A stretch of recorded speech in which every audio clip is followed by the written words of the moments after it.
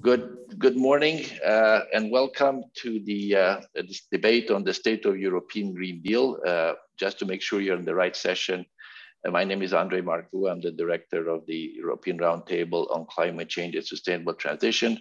The topic for today is Fit for 55, Fit for Industrial Transition.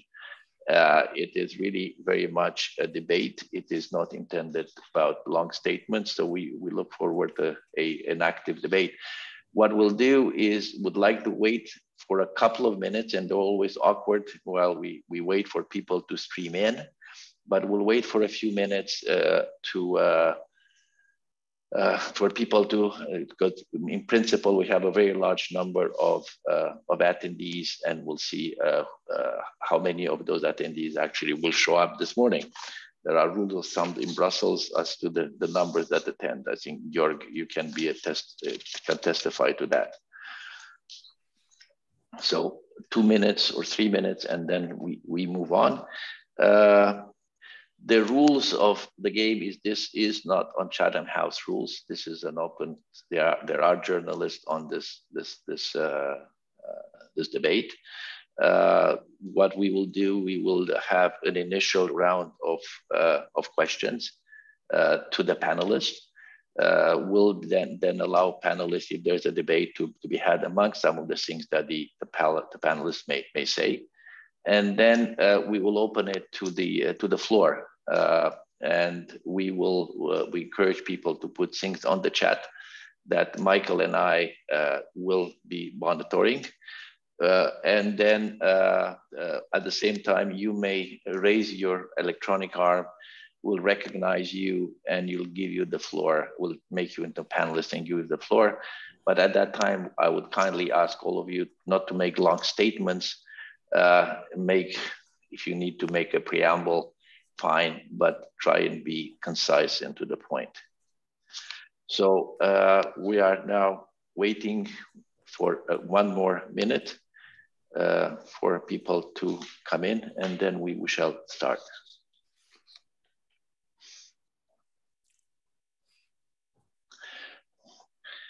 So uh, I think, Michael, I think we should start again. My name is Andre Marcu. I'm the Director of European Roundtable on Climate Change Sustainable Transition. I'm being joined by Michael Mehling as a co-facilitator today. Uh, Michael?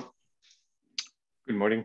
My name is Michael Mehling. I'm Deputy Director of the Center for Energy and Environmental Policy Research at MIT and have the pleasure of serving on the board of ERCST. Very well. And what we have here today with us is, is a indeed a very distinguished panel. And we thank you all. I, we know these are the, uh, you know uh, busy times uh, where we operate in, in you know one year later we still operate in new ways. Uh, Monsieur Eric Maillard, who is uh, Senior Vice President, EU Affairs Diplomatic Advisor to the CEO. Uh, he has been in the diplomatic service of, of France before in, in, in different positions uh, Judith Kirton-Darling, Deputy Secretary General, IndustriAll European Trade Union, responsible for industrial trade policy, social dialogue, and horizontal networking, formerly a British member of the European Parliament. Uh, Mr. Javier Goni del Cacho, who's the CEO and president of Fertiberia uh, and chairman of Fertilizers Europe, uh, formerly with, uh, for many years with, with McKinsey and Company in, in Madrid. Mikael Staffas, chairman of Eurometaux, president and CEO of Boliden. Uh, then uh, Mr. Simone Mori, who's the head of Europe in the Enel Group. Uh, prior of that, he had uh, and continues to have many other hats, but has covered uh, managerial position in uh, regulation, antitrust, environmental, climate change policy, and innovation in the Enel Group. Mr. Isidoro Miranda, who is the CEO of Lapage Holcim Spain, Vice President of Cembureau, and formerly President of the Spanish Cement Association. Last but not least, uh, my friend, uh, Mr. Georg Zachmann, uh, who is uh, with one of the probably the leading think tank in Brussels, Bruegel, and welcome to uh, to to uh, hear uh, Georg. He has he's currently doing uh, advisory work in in Eastern Europe, in in in Ukraine and and, and Belarus and other countries. So welcome. Now the topic of the day is fit for industrial transition, fit for 55. And the reason why we do this at this time is that it is indeed an important moment. We are in the middle of a revolution. This is not for the faint of heart. This is a revolution where changes in industry, in the economy of Europe, in the society of Europe is taking place. And how we come out of this, and we come out of this is going to be not only what the economy looks like, but what society would look like at the end of it. What can we be expected from the Fit for 55 package with respect to industrial decarbonization? That's important. Why? Because we have so far dealt with uh, the power industry. I think we haven't finished that, that job, but we're all, way, all well on the way. We know I'm an electrician. I'm a lapsed electrician, but I'm an electrician. Spent 20 years on Ontario Hydro. I know a little bit about electricity. So I think we're on the on the road there. Industry, we're at the beginning of the road. It's something new. So what is missing from what is known? We have a package. What is the role of carbon pricing? What is the role of carbon pricing in the context of the whole European Green Deal? I was listening yesterday to Clemens Fuest, the president of the IFO Institute for Economic Research in Munich, who had very serious doubts about the green, green taxonomy, and I was actually arguing for a stronger ETS. So these are there were very, very strong words being exchanged between him and a number of members of parliament. So this is a serious debate that will take us somewhere. Electrification and the role of different technologies in industrial decarbonization by 2030 and beyond. Uh, what, how to best address just transition. Is just transition really an add-on? You know, kind of go talk to the guys with the just transition fund, or is this really something intrinsic? We have gone, we have gone through transition in Europe over the last decades. Some of it poorly managed, some of it not managed at all, with result, disastrous results in some cases for a whole generation in Eastern Europe. It, its reality is not something. So we are on an important mission but we need to know exactly how we do this. So with this, what I would like to launch the debate is the first question. And I would ask all of you to, uh, to start by, by kind of responding to or uh, reflecting on this question. A decarbonized industrial and prosperous Europe. Is this all what we all want that? From what we know about the package that's about to come in, the Fit, for 55 package, which yesterday was very interesting. We heard from one of the member of parliament actually may not come in July. I'm not sure it's true or not, but that's what we're hearing sometime. We hope not. Is does it fulfill that? Does it fulfill that role? So I'll start with uh, Monsieur Maillard. Uh, will you please start? Thank you, Andre, and, and I'm, I'm delighted to be here. It's uh, actually it's a difficult question, and there is no uh, silver bullet uh, to decarbonize the industry. Uh, you, I think you've rightly uh, recalled that the power industry, it's, it's an industry, I think we can come back to that later, but already um, uh, started and is, is on the right path of its own decarbonization.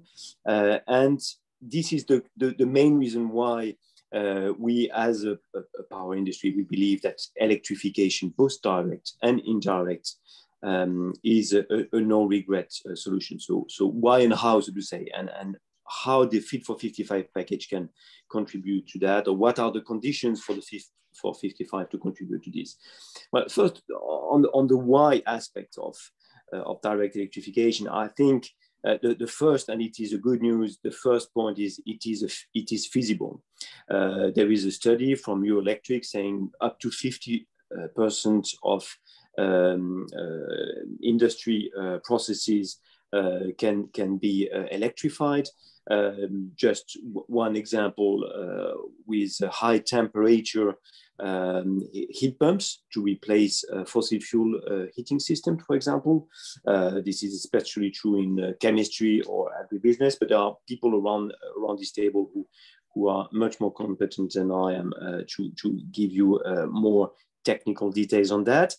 Second, it is an urgent matter. It's not only feasible, it is urgent. And for one, uh, I, I, would say simple reason is there is a real risk of a locking effect here if you do not electrify um, quickly, uh, then you will embark into a process that will last for 30, 40, 50 years uh, for, uh, I would say, obvious reasons, because when we invest in, in industry uh, processes, uh, it lasts for, for a very long time. Um, the third aspect of, of the electrification being um, no regret option, so to say, it's because it has positive uh, spillover effects. Because besides the uh, the fact that electricity is already and will be more and more um, uh, CO2 free without uh, emi without uh, emitting CO2 into the atmosphere. it has spillover positive spillover effects. The first one is energy efficiency. In some industries, electric solutions such as uh, heat pumps of hybrid boilers can be between 100% up to 300% more uh, energy efficient than um, uh, for low temperature grade, sorry, uh, than their uh, gas uh, equivalent. It, I must say also that you, you, can, you can have a lot of energy efficiency with heat recovery for industrial processes. We, for example, we have done that in the, the eastern part of France for an automotive uh, industry. We, we, are heating the city of uh, Sochaux uh, near a Peugeot factory plant by using the, the energy and the blast furnaces of, of, the plant. And, and the, the, the, last point uh, to, uh, to, um, to complete that with uh, indirect electrification for hard to abate uh, sector. The good news here is, is also that we, we have technical uh, solutions to produce low carbon uh, hydrogen, both using renewables or with electrolyzers connected to the grid if uh, there is um, uh, low carbon uh, energy mix, low carbon electricity mix. This is the case in Sweden or, or in France, for example.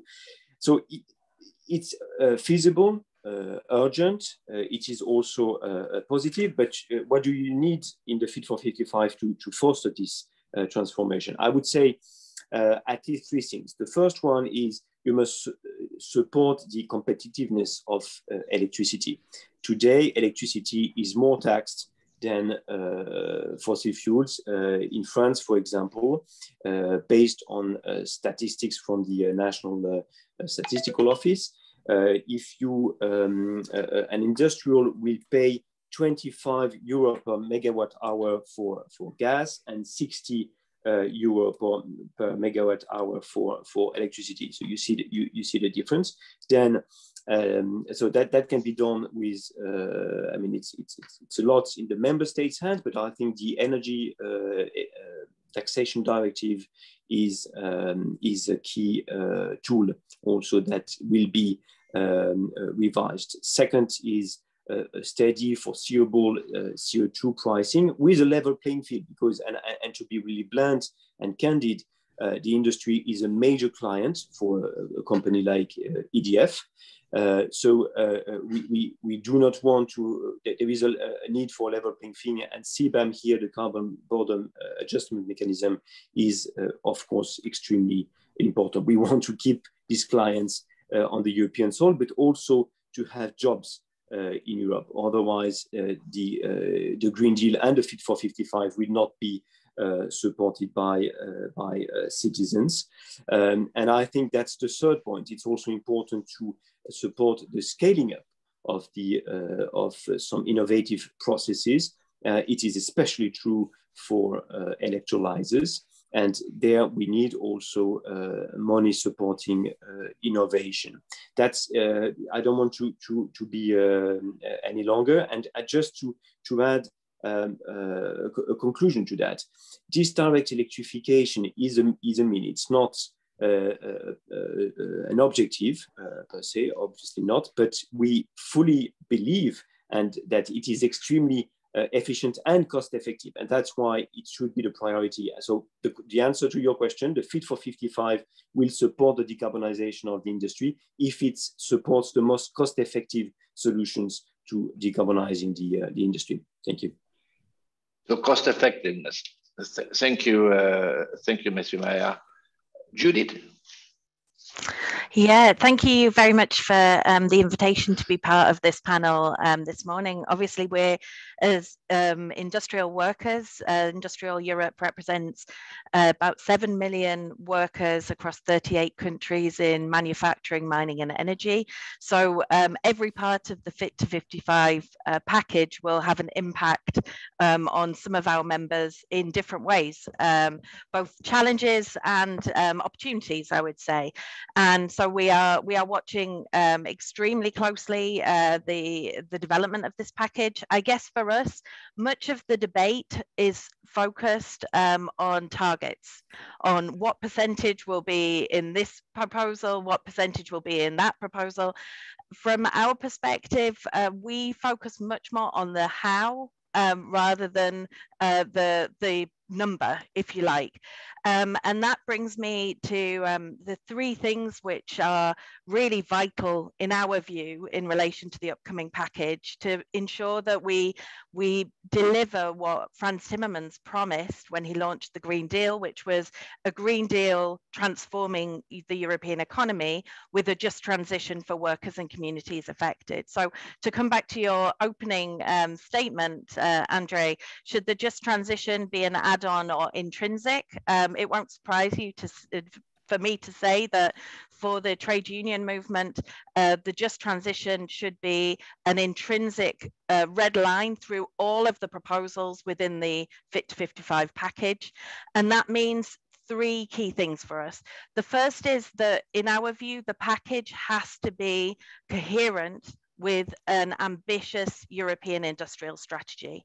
Uh, we've just had the publication of the updated strategy, not as ambitious as we would have liked to have seen, considering the scale of challenge that we face. Um, some of the points that um, Erici was talking about, about the, um, the, the need to get this right now. We have uh, effectively a decade uh, to set forth, particularly in energy intensive industries, um, the investment to guarantee that clean production right to 2050. We're talking about one investment cycle in many of our sectors.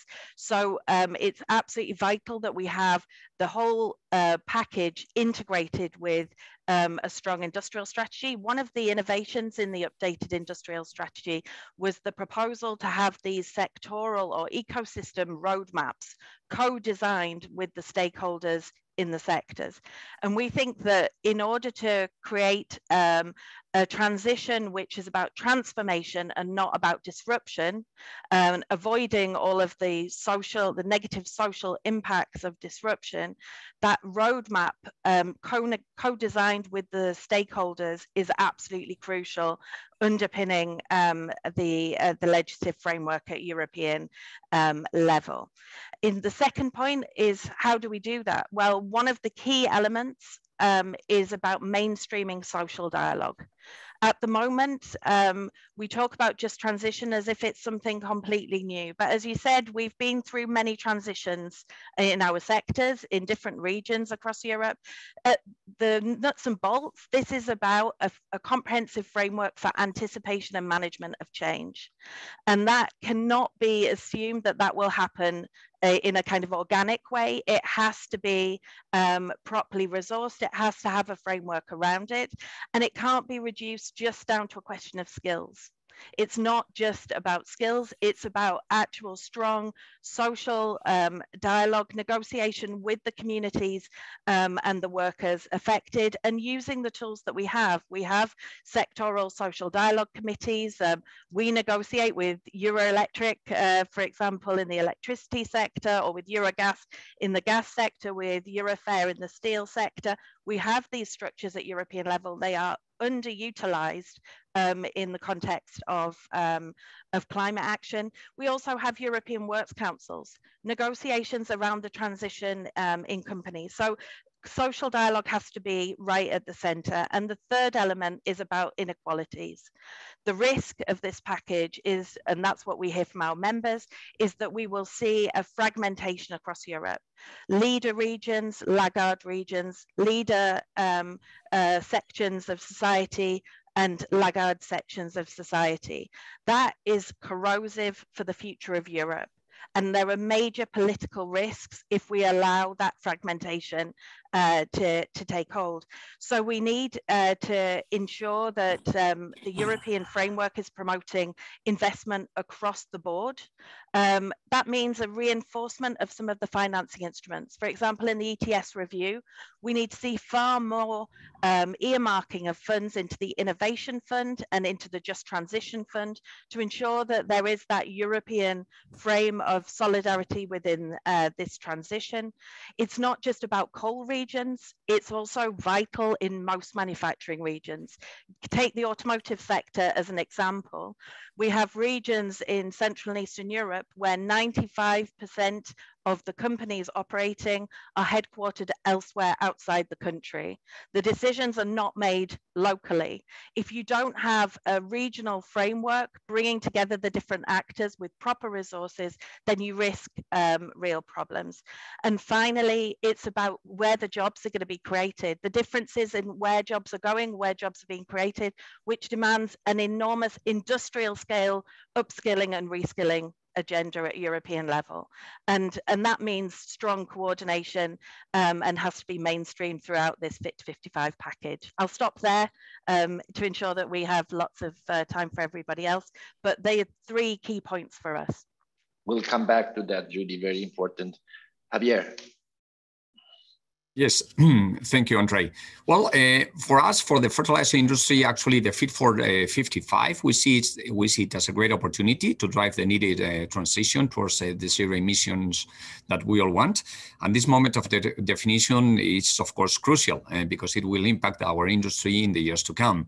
And only if we have the right framework, then uh, the real decarbonization will be achieved.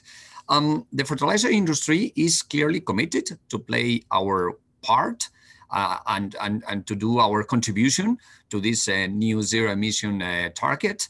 Um, and we are actually designing our, our path, our pathway eh, to get there. Mm?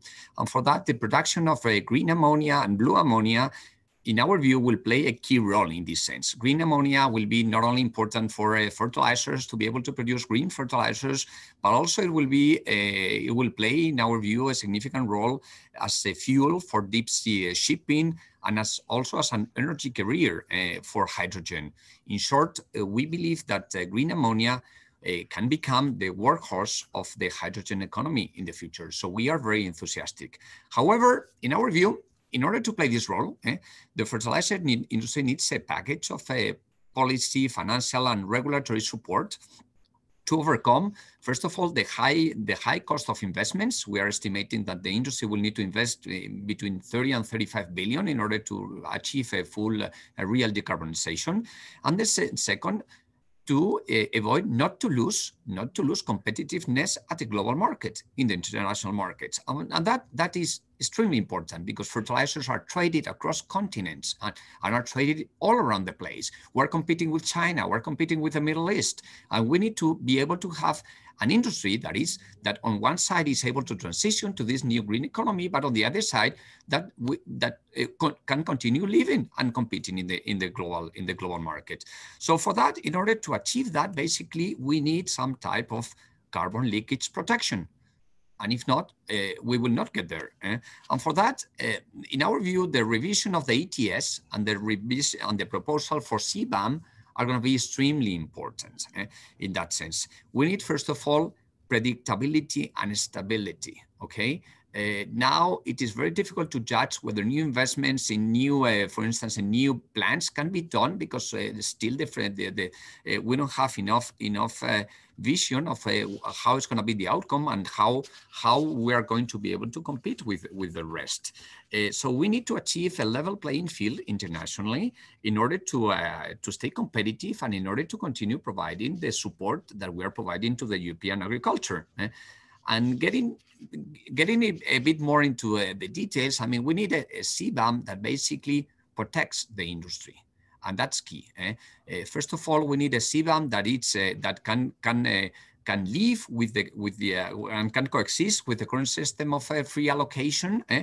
If that is very important in our side. Second, we need a CBAM that actually covers the full sector and doesn't allow other people elsewhere to circumvent this uh, mechanism, we need to understand that this should cover 100% of the nitrogen imports, not only a few products, and then two thirds or, or three quarters of the imports being uh, uh, being uh, uh being outside of this uh, system. We need clearly the CBAM to cover not only upstream but especially downstream products, because downstream is the is the way in which most imports come into the European Union in order to avoid these market distortions. And also we need some, some, some, some protection or some, some mechanisms to protect the ability to export of the European industry, okay? Uh, in case that we are competing in other places with with uh, with uh, with uh, with players that are in in a different different situation. So basically, we need something that is comprehensive, that is that addresses all all the different issues, that is predictable, and that is uh, and the changes are gradual, linear, so that the industry can adapt. We cannot go for sudden changes because uh, that will clearly harm the European employment and the European industry. Of course, uh, you mentioned carbon pricing is, is raising up. Carbon pricing, of course, will will will be a clear incentive eh, to achieve this decarbonization but alone will not trigger the deployment of, all, of clean technologies in the, in the, in the industry sector at the scale and, and might penalize uh, our industry on, on global markets, uh, which could also lead to, to some type of uh, investment leakage. Um, also, another point is that if we're going to produce green fertilizers and green ammonia, we need a some type, uh, we need quickly some type of certification process for these uh, uh, green fertilizers or green ammonia so that we can market them clearly as green fertilizers and we can develop a market for them uh, with uh, different prices than, than, than uh, standard fertilizers. if at the end of the day we don't achieve higher prices for these green fertilizers, then then it's going to be very difficult to achieve the, the, the, the, the to achieve the, the business case. Eh? we need to understand that that now producing hydrogen, producing gray hydrogen is easily uh, uh, one third or one fourth or one fifth the cost of producing green hydrogen. Eh? So uh, either we obtain a higher revenues from our green products, or if not, uh, it will be impossible uh, to, to cover the bridge, the bridge, because it is very important for us to be able to have a business case that works, a business case that doesn't kill companies, uh, and we need to address all of that. And and of course, if we're talking about being producing a green hydrogen and green ammonia, eh, everything that was said before about the, the, the, the needed for a cheap electricity and mass electrification, that, that's, of course, that's a, clear condition. That's a clear condition. So uh, this is our view. We want to stay competitive at a global level. We want to go uh, for, uh, for our green targets but we need some type of uh, level playing field and support for this uh, initial, to, so that this initial development happens and it takes the speed that we want to really achieve a decarbonized fertilizer sector. Thank you, Javier. Mikael, you, you're the uh, also chairman of, of Eurometaux, which, which, has been a very strong voice in, in Brussels. Uh, I'm quite keen to hear your intervention. Well, thank you very much. I hope you hear me well. We hear you uh, Good. Uh, being, you know, Eurometaux and being in the non-ferrous metal business is, of course, very interesting at these times. Uh, just to be very clear, all the paths that all the other industries are using, as we've heard before today, are all involving electrification. And electrification uh, will need base metals and other metals as well, non-ferrous metals. And not only do we need it because we're going to produce more electricity, we also need more non-ferrous metals because they're going to produce um, renewable electricity. And you can see from all kind of data that that requires even more metals. So in one way, we are in the industry that needs to grow immensely in order to secure the supply that everybody else needs for the transition. And I always ask everybody in these kind of situations, please add up the material, the metal need that you will need in terms of copper, zinc, nickel, lead, and so on in order to be able to, to achieve this transition. So um, therefore, I'm saying, can can we get there? Starting with the big answer, can we get there? Yes, I think so. But just be aware, everybody, that in order for everybody else to succeed, we will need to be able to uh, get a lot more of base metals into the European situation, non-ferrous metals into the European stage. Now, having said that, you also know that these metals very much float around, and we have a real issue of carbon leakage already before this whole debate started. It depends a little bit on where in the value chain you are. Uh, but if you start at the beginning of the value chain, Europe is only 20% self-sufficient in terms of mining and sourcing these metals that we're talking about.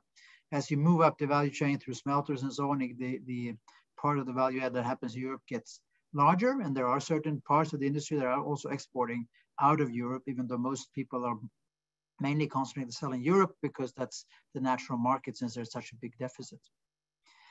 This uh, uh, situation has led to a situation where we today have a very significant carbon leakage as a starting point. Uh, you can look into almost any value chain that you want to. You can look into uh, zinc, you can look into nickel and so on, and you'll see that all the metals that come from outside Europe have a much higher carbon footprint than the metals in Europe. So not only do we, in order to get a, a prosperous carbon-less Europe, we have to start with thinking about the whole value chain and all the CO2 emission that happens outside the borders in order to supply the metals that we need. We are, however, uh, very optimistic that we can work on our part as well.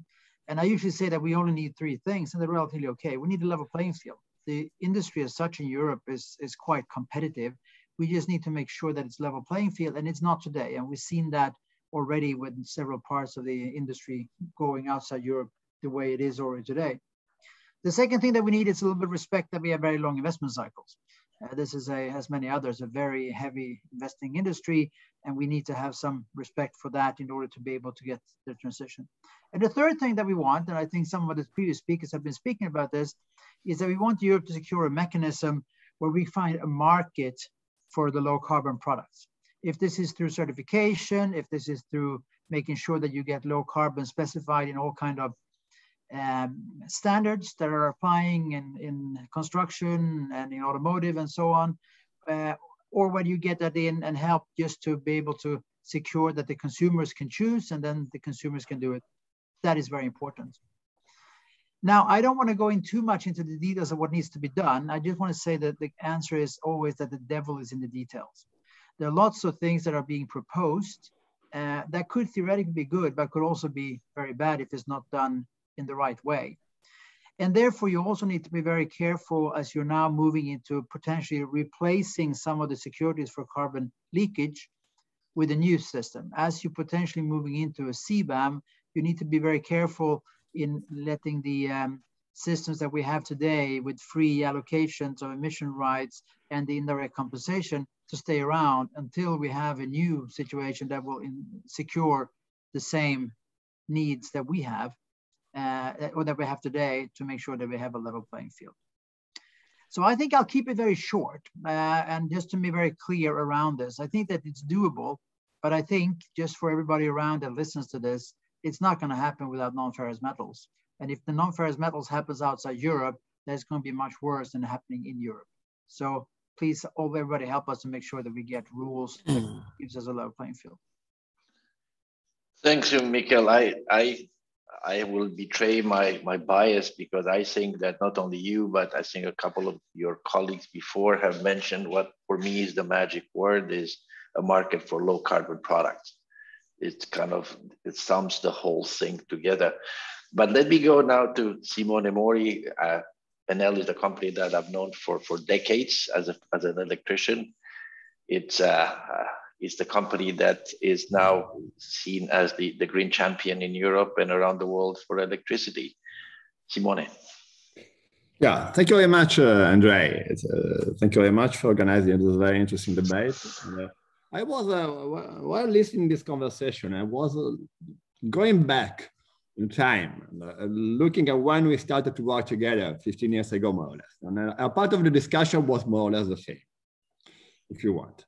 And what is striking me, uh, I understand all the points. And, and I think that, for example, I, looking at, at metals, for example, what Mikael was saying is very important. But looking at the evidence that we got, at least for the many weapons that have been carried out and prepared, after 15 years of uh, European uh, policies for supporting decarbonization, uh, after many mistakes, because there is here in the chart, there is, for example, yeah, the subsidies for renewable, there were too much, for, of course we didn't find any evidence of a real carbon leakage phenomenon strictly related to European carbon, low carbon policies. Of course, there is a problem of competitiveness. We know very well as electricians, we work, we, we work hardly with the steel sector, we work hard with the cement sector, we work hard with aluminum.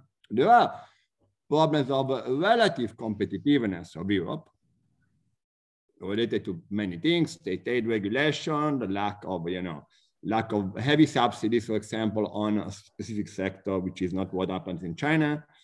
But uh, I mean, we didn't find maybe you, you have new reports and you discover something new. We have we have no evidence basically of, of, of a real carbon leakage coming from European decarbonization policy. The evidence is on the contrary, that for example, the ETS mechanism, as it has been conceived and applied in time, produced a net, a quite large net benefit on overall, let's say, consolidating uh, industrial sector, which is a point. I think I, am not saying that this is going to be the same for the future, but I think it's a starting point since for at least 15 years, we uh, discussed quite a lot about the disaster that carbon policies in Europe would bring to European industrial sector, which didn't happen. It is a good point, I think. It's, it's not, know, just in order to demystify the certain point. We, this uh, doesn't mean that we don't have to worry about the future. We have to worry because now the step forward is very strong, it's very ambitious, and it's really transformational. So I would say today we work, you know, on the on the uh, let's say on some spot in the large perimeter. Now we are starting from a breakthrough, which is very very relevant.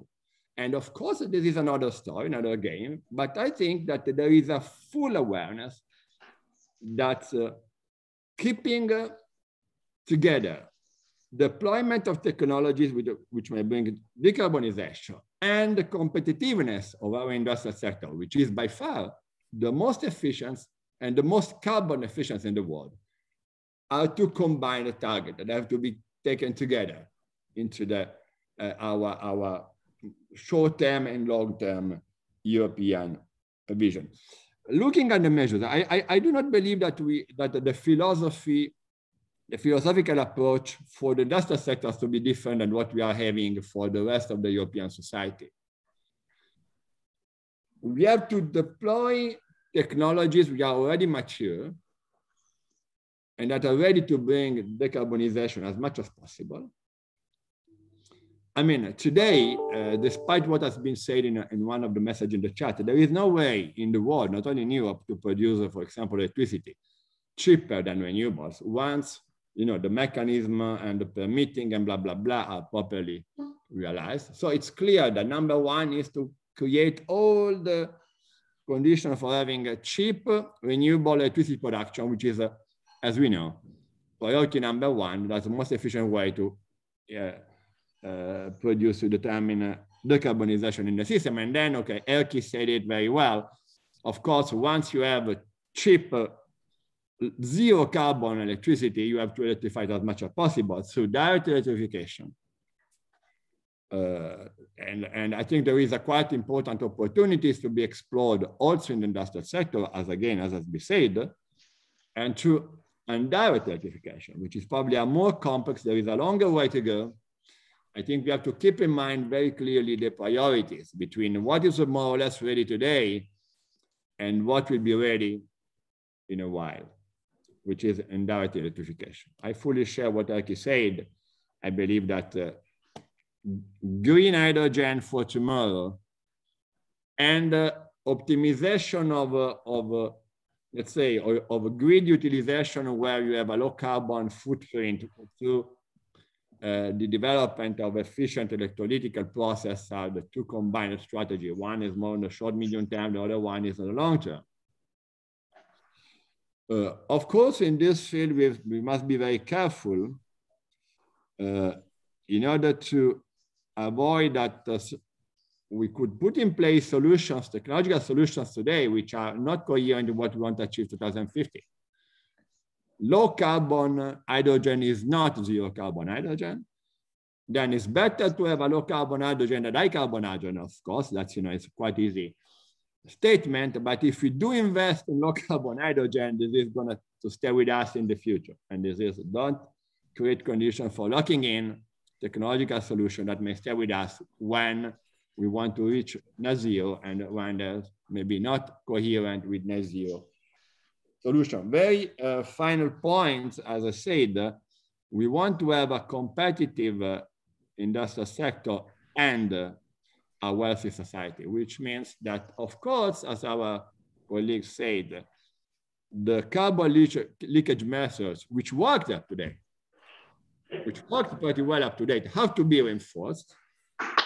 I think that what you are saying, a global carbon market or a global market for low carbon products, it's something important. I think that there are more and more the conditions uh, to do that. I think that looking at the global debate, I think that some step forward has been carried out and we have to reinforce this. We have to reinforce this because this is a strong, a strong point for Europe because again, we have the most decarbonized and carbon efficient industry in the world.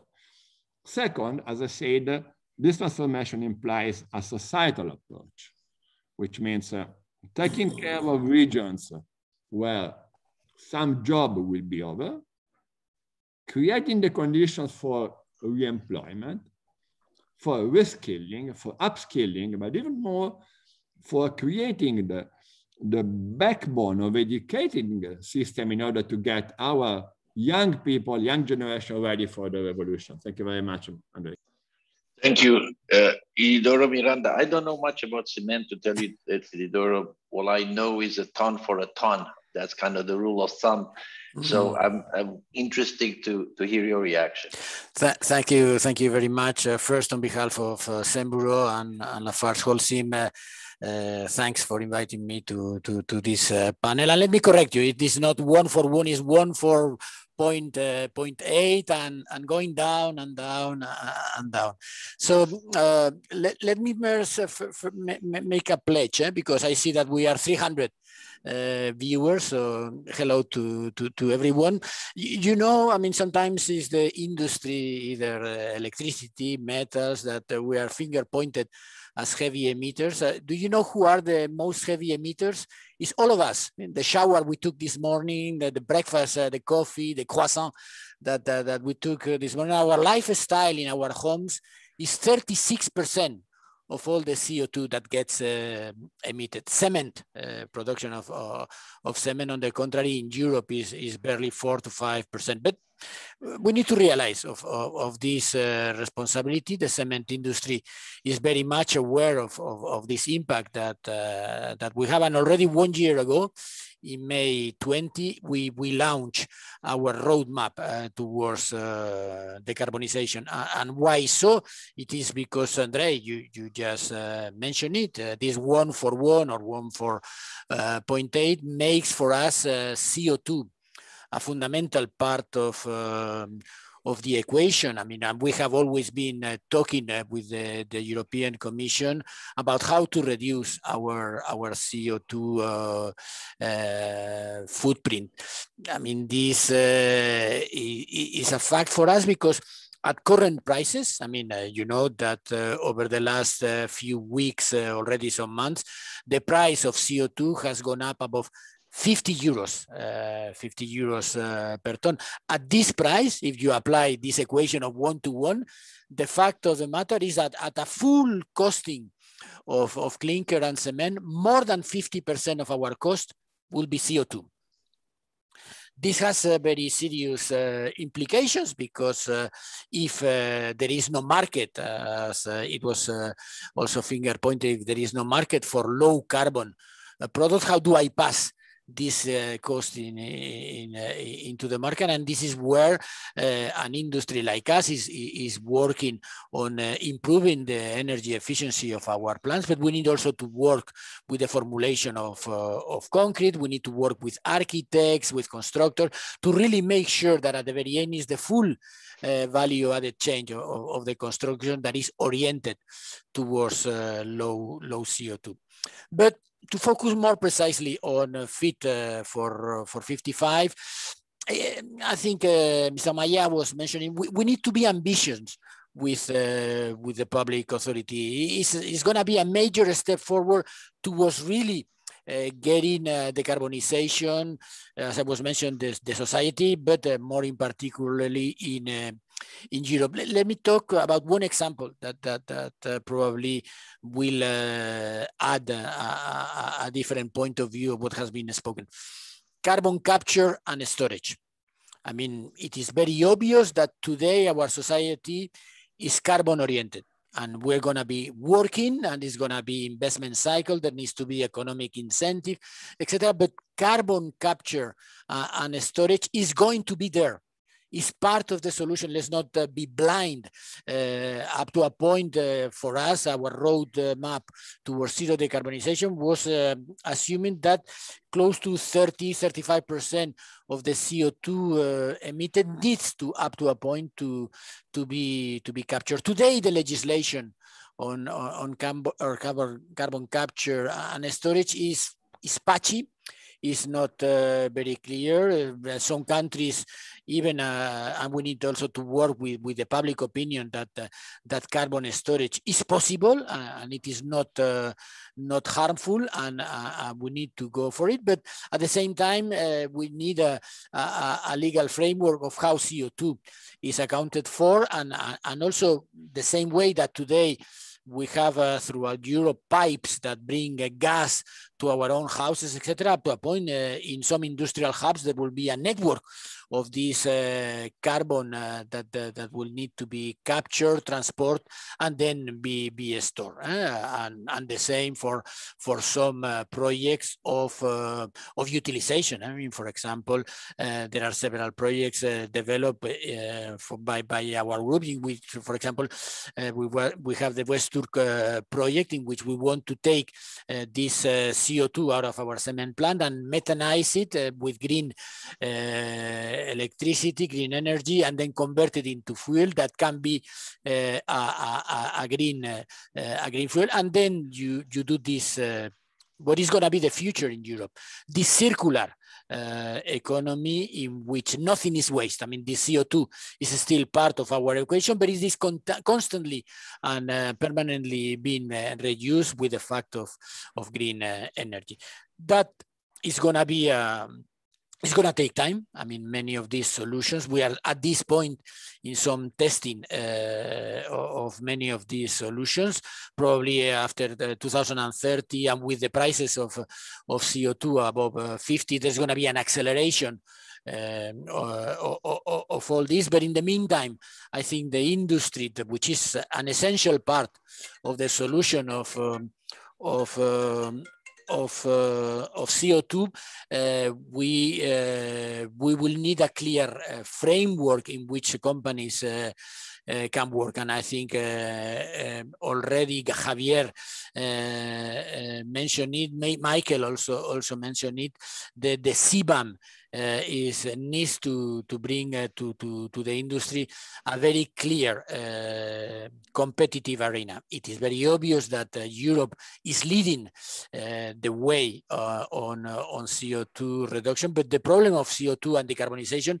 is not only Europe is a worldwide uh, issue, and we need to make sure that that, that CBAM with uh, free rides addresses and provides a, a, a clear competitive uh, field for the for the industry. And we are willing to to, to work with Mr. Timmermans and all his teams, DG Climate, DG Grow, to to really to really show that uh, that we we can be uh, also part of the solution. Thank you. Thank you very much. Uh, you're now, you're, I don't know, you, you're like me, you, you have no plans and you have, you know, you have a computer and you go between Berlin and, and, and, and Brussels and, and, and occasionally Kiev. What do you make of all this? I mean, you, you listen to, to, to all these people and, and I was trying to provoke them and to ask them whether they were happy or not. And they think whether the, the sky is falling or, you know, okay, we're gonna, we're gonna be fine and I'm not getting a straight answer. So what do you think, Jörg? Well, first, thanks a lot for, for inviting me. And I think it's it's great to see that all sectors search for their role in, in decarbonization and often with quite fascinating technologies. And I, I mean, it's a it's a very different mood than say 10 years ago. And now everybody is on board, everybody is trying to find solutions. And of course, industry is now asking for support. And I mean, we have heard them, them all, all of them have their ideas what would be good for their industry in, in terms of support to, uh, to kind of make this decarbonization happier. Uh, essentially, I think there's three types of support that, uh, that industry is asking uh, to different degrees. One is uh, continuation or uh, maybe even increase of free allowances. The second one is carbon border protection measures. And the last one is kind of direct support for, uh, for new technologies. And I personally think it, it should not be an all of the above. I mean, we have in the past had quite uh, uh, quite generous rules for industry. We have seen significant windfall profits for industry from uh, from free allowances, and um, I mean the, the speed at which we we've seen decarbonization in uh, in that phase in industry was not optimal. And um, so so I would argue that for a speedy transition policy that, that should mainly focus on a, on a robust carbon price and support for industry decarbonization. So kind of on the, uh, on the, on the public support side. So I want to speak about this public support.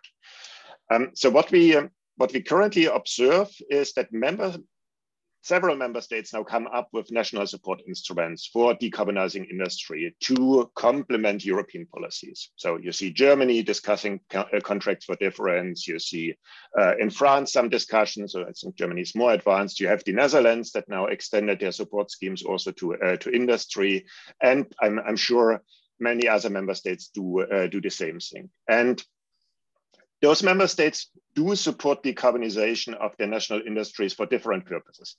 One is certainly industrial policy. So be the first to develop new low carbon technologies that you can roll out to, uh, to dominate the world. The second one is, uh, is climate policy, might also play a role. I mean, it's quite interesting that the, the German contracts for difference are designed by the uh, environment ministry and not the economics ministry, which is uh, interesting. And of course, there's also social regional energy policy aspects. So by supporting certain things, uh, you can like Germany supporting hydrogen or uh, uh, supporting stuff in certain regions, you can essentially do uh, other policy goals at the same time. Now, all of that is, is good, uh, but there is a risk that richer countries can do much more of this support than, uh, than poorer countries can do. And this might essentially kind of amplify differences in the EU between poorer countries and this is not a good thing because if you think about it, replacing a fully depreciated steel plant in a poor country might make economically and environmentally much more sense than replacing a relatively new one in a richer country. But the rich country has the money, the poor country does not have, have it. So um, what should we do on a European level? Because you initially asked and kind of what, what is missing in the, in the Fit for 55. No, I don't know what is will be in the Fit for 55, but I presume something that uh, that might be strengthened is a European tool to um, to support industry decarbonization.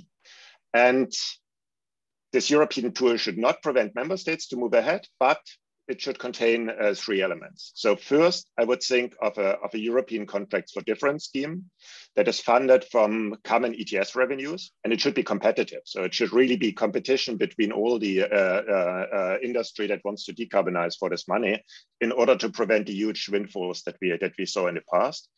But we might include some brackets that favor less well-off countries. So say, okay, a certain amount of that has to come from, from these countries, for example, to make sure that they are getting access to that. At the same time, I think we, we should kind of strengthen our competition policy rules in a way that allows for some national experimentation with uh, with, uh, with national tools, but prevents any any excesses by kind of uh, uh only uh, um, say Germany, for example, does uh, steel sector decarbonization, and all the others have to close their, their entire steel industry at some point. And the uh, and the third one is uh, we should enable such funding for industry transformation in poorer countries.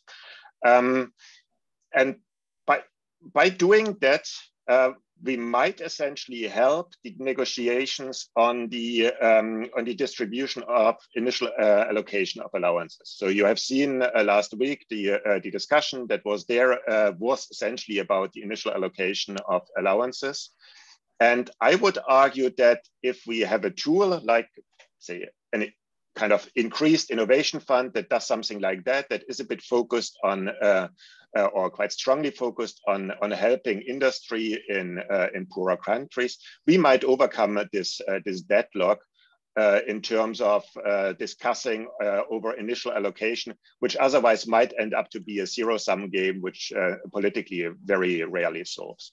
So with all that, what I'm what I want to say is thinking about kind of an industry decarbonization um, uh, support mechanism based on competitive contracts for difference on a European level, we might find a quite nice way to, to kind of kill a number of birds with, uh, with one stone. Thank you, Andre. Good, we're gonna run out of birds. Now, what I take back from this before passing you to Michael is I'd like to hear more about technology neutrality, which I think is important. The balance between regulation and markets, markets for low carbon product and what exactly, I know we don't know what's in there, but we kind of notionally know what's in there. Michael? All right, thank you, Andre. Well, fascinating first round to set the scene. Um, we'll have a second round of questions. We encourage uh, the panelists to be um, somewhat shorter so we can go to the Q&A with the audience. I'm sure there's a lot of questions that are waiting to be asked, but in the second round, um, we'll sort of tease out a few of the themes that already were um, brought up in this initial round from each panelist. I'll start uh, with Monsieur Maillard you already mentioned initially that you know the power sector is also an industry, but I think one theme that came throughout the remarks was that as decarbonization progresses, power and sort of the traditional industry, manufacturing, et cetera, will be increasingly intertwined. And EDF is, of course, then going to be very closely working together with many different um, industries and very important for different parts of the value chain. Can you give a bit more of a sense of why how you see the Fit for 55 package playing a role in that sort of um, um, uh, joint, let's say, effort of power and industry. And I'd encourage you to go out of the comfort zone, not just looking at the opportunities. What are the challenges? Where could this go off the rails, let's say?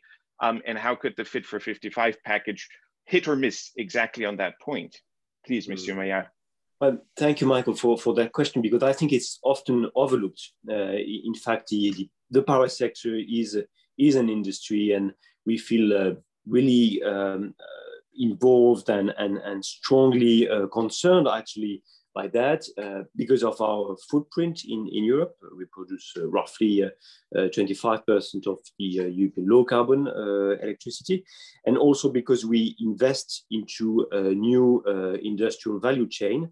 And, and I, I, think you're right. I think uh, Fit for 55 um, must not be a missed opportunity to support uh, these, these value chains. And, and maybe to answer your question, I will uh, be a bit more specific, looking at uh, three or two, two or three uh, specific value chain. One, um, let's start with hydro. hydro has a lot of advantages for the energy mix. it's not only uh, fantastic uh, uh, decarbonized energy. It's also a storage technology, and, and, and it helps the, I mean, it's, it's great for the stability of, of the grid, but it has a lot of industrial advantages as well. Um, one, it is a mature technology, and uh, that's extremely important if you want to invest into storage in the near future. Uh, you, having a mature technology is much better than uh, investing into uh, riskier uh, technologies. It creates jobs, local jobs, including in remote areas, you know, in the remote mountains, for example. That's also important. And again, I don't think we'll have public support, support of the citizens and the workers if you don't create jobs through the uh, Fit for 55 or, or the Green Deals. Um, it, it is also, and, and, that's also, I think, important, it is not using any uh, rare raw material. So the problem is when you look at the legislation, uh, there is clearly a discrimination against hydro. We fully understand that, that, there's a lot of environmental challenges going with hydro, but if you look only at the storage issue in the uh, uh, in the um, uh, in the TEN-E regulation that will uh, be uh, revised in the upcoming weeks, months, there is no level playing field between this mature technology, the pump hydro storage, for example, and other storage technologies. It's, it's a missed, clearly a missed opportunity for investments, for the grid, for decarbonization, and for the job content of the Fit for 55. Second uh, aspect uh, to your question, um, nuclear. I think it's, it's uh, it's uh, an elephant uh, in the room, especially an elephant because there's a lot of jobs attached to this industry. You know, it's more than 350 direct in, uh, employees working for, for nuclear. It's up to the member states to decide if they want to do nuclear or not. The problem is, is when it's uh, not only difficult, but it's going more and more complicated to invest and to create jobs and value into this industrial value chain. And here, obviously, taxonomy, uh, it's not part of, per se, I mean, it's not directly part of the Fit for 55 package. As you know, and now that we, we got uh, a scientific report uh, clearing the way for the uh, uh, Uh, uh, impact on the uh, environment, there is no doubt that nuclear is contributing to mitigating the, cl climate change. So we expect a, a second um, delegated act and, and hopefully we'll, we'll, we'll come back to, a, to a, a CO2 emission compass in a way. Uh, we don't need a taxonomy saying we need more renewables. We all know we need renewables to do uh, decarbonization. So we, we need a more refined, not a binary taxonomy, more refined. Um, I, I, have no time to go to the, to the third aspect. It's clear that uh, renewables is a, a, strategic industrial value chain. We need not to protect this industry, but to support to support this industry by uh, facilitating the rolling out of more renewables, especially, for example, on the offshore. There we need long-term planification. It's not only in the Fit for 55, but uh, it's clearly also in the Fit for 55 to facilitate the permitting and the long-term planification of renewables, especially uh, offshore. Thank you. Merci, Monsieur Maillard. Going to Judy, um, and again, also we're keeping the second round a bit briefer. I think Andre is suggesting one to two minutes, but um, you know, there's been some polemics, let's say, in, in, in the media debate. Um, is this going to be decarbonization or deindustrialization of Europe? And I think to go back to what Andre said in, in initially, how will the just transition really feature in this? Is this an afterthought that will be dealt with through the funds and sort of on the cost side? Or is this really already, do you think, going to be an intrinsic part of Fit for 55, also from the policy and the regulation side? Um, I think there's a, a, real risk that rhetoric doesn't follow through um, with reality in terms of the, the policy framework. Uh, we can see in the political debate that there's an increasing recognition that actually part the technical solutions, as we've heard from all of the panelists, many industries have different uh, technical solutions developing. We see the breakthrough research going on in, in the different sectors in which we organize. The social acceptance dimension of this debate is actually the probably the most difficult uh, to, to manage in some ways. It's quite nebulous. It's not an easy fix. It involves a lot of time and resources, and that's difficult to, to to kind of factor into a legislative framework which is focused on technology targets and so on because we're talking about ensuring that framework of um, of engagement of dialogue um, and um, and of participation. And and I think at the moment uh, the rhetoric is starting to move in the right direction but we're really keen to see that that actually is then implemented through the through the package.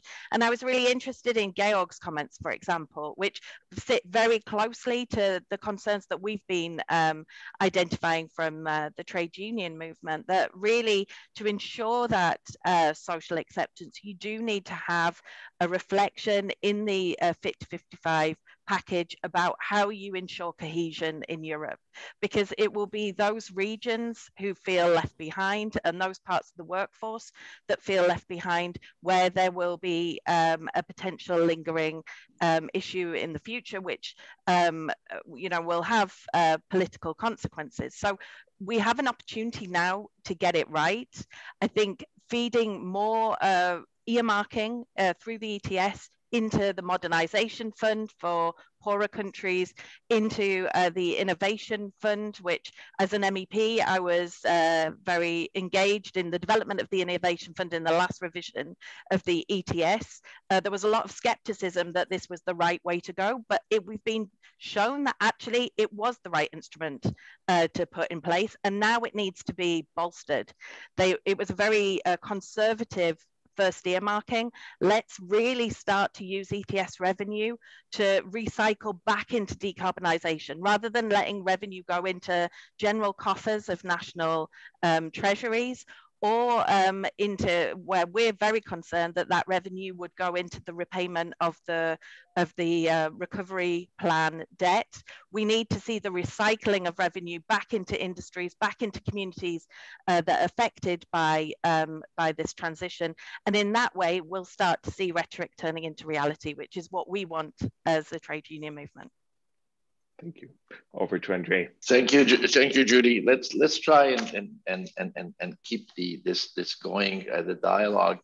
Uh, Javier, uh, you talked uh, you talked about ammonia and green ammonia.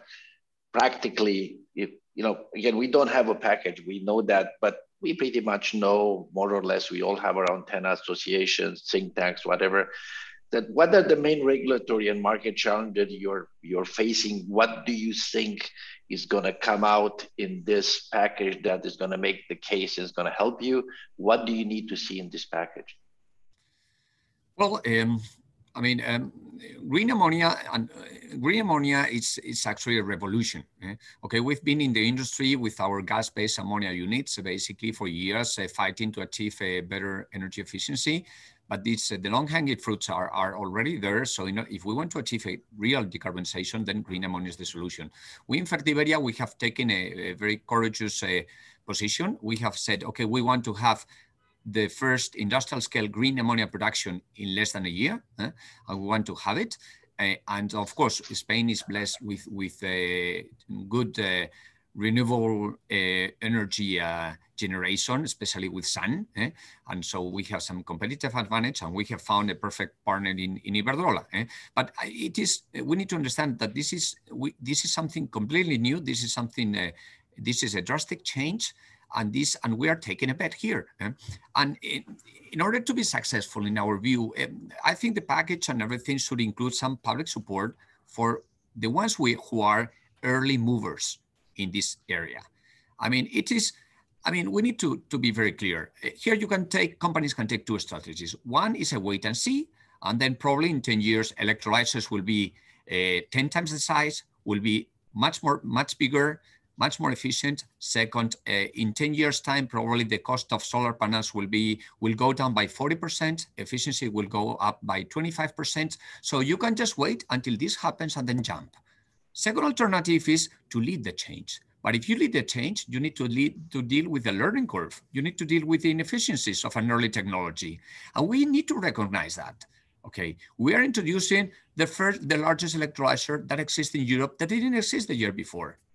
We are going to use massive amounts of solar energy that probably will be cheaper in 10 years. So we need for this to really develop some type of public support for early mover uh, projects so that we start developing these technologies and develop this green hydrogen and green ammonia. Of course, in the long run, the goal would be to have premium markets for certified low carbon products.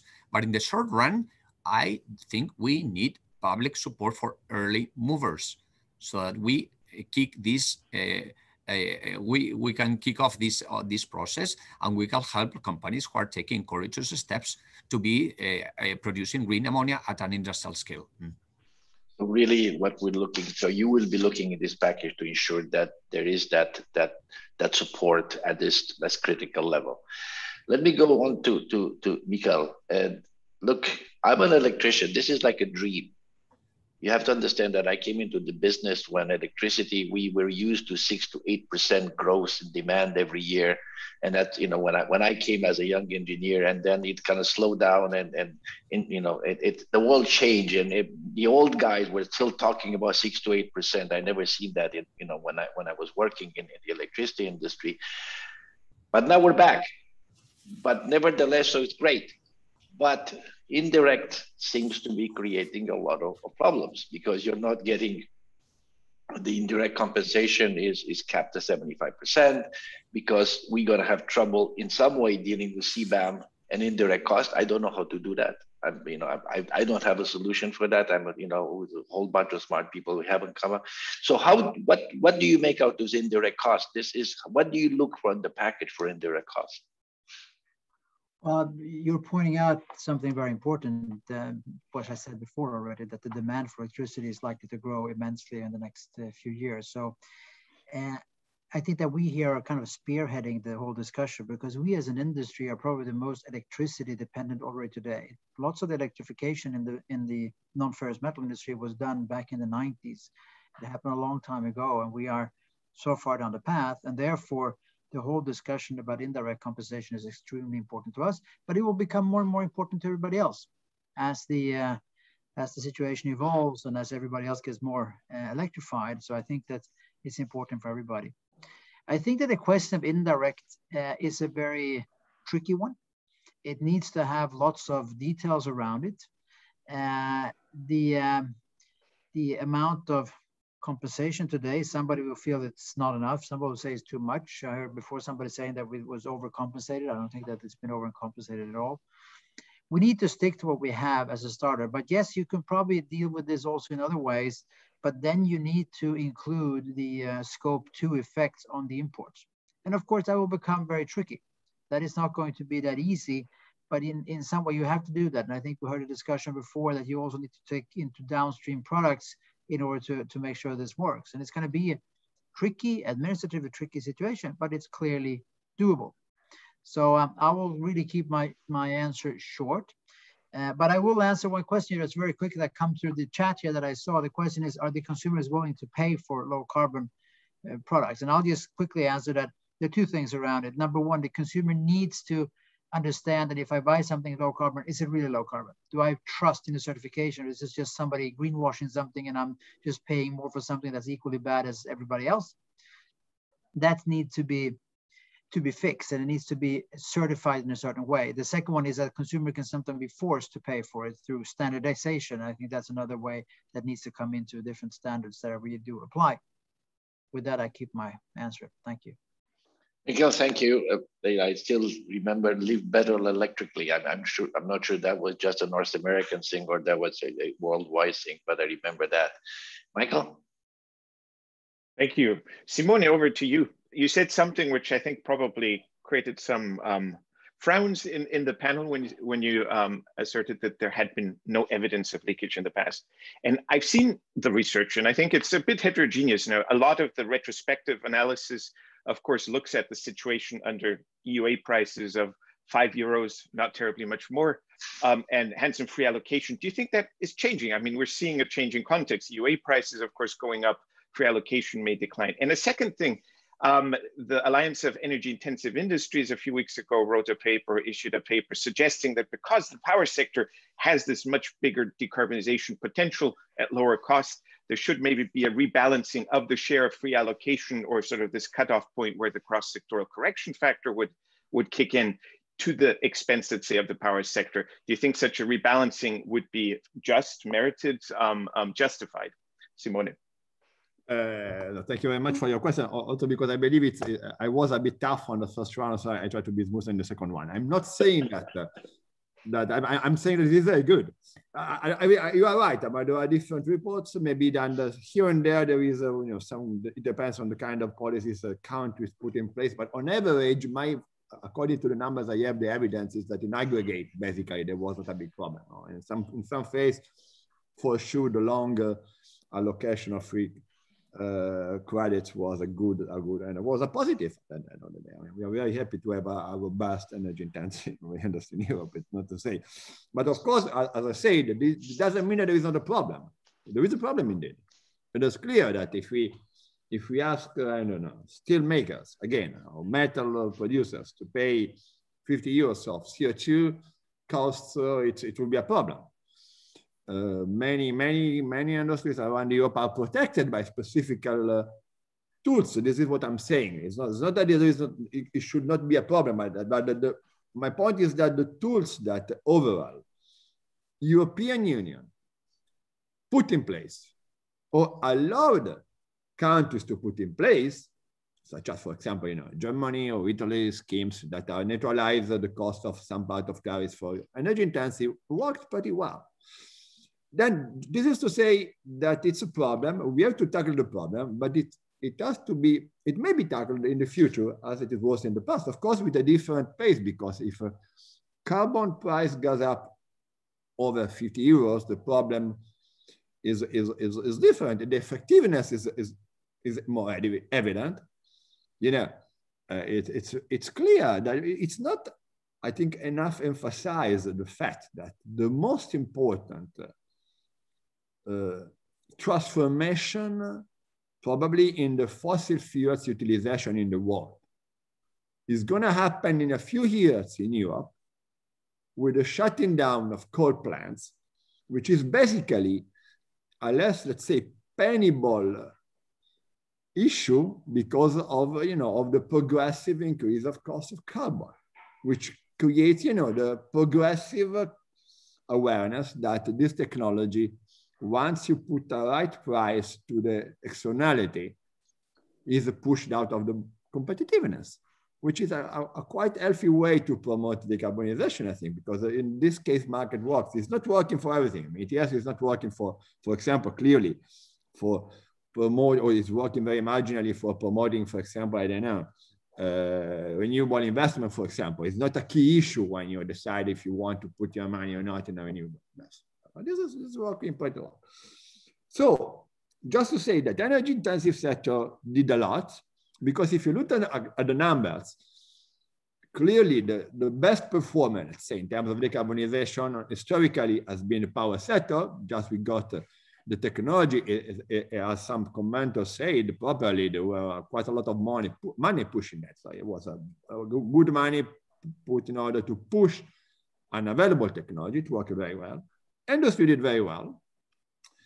I do not believe actually that we should change the balance between power sector and other sector inside ETS sector, because actually, I think ETS worked pretty well. I mean, my, my general evaluation is that now ETS is delivering. I mean, it's delivering decarbonization, it's delivering the coal phasing out, is not, is, has not killed our industry, which means it worked pretty well.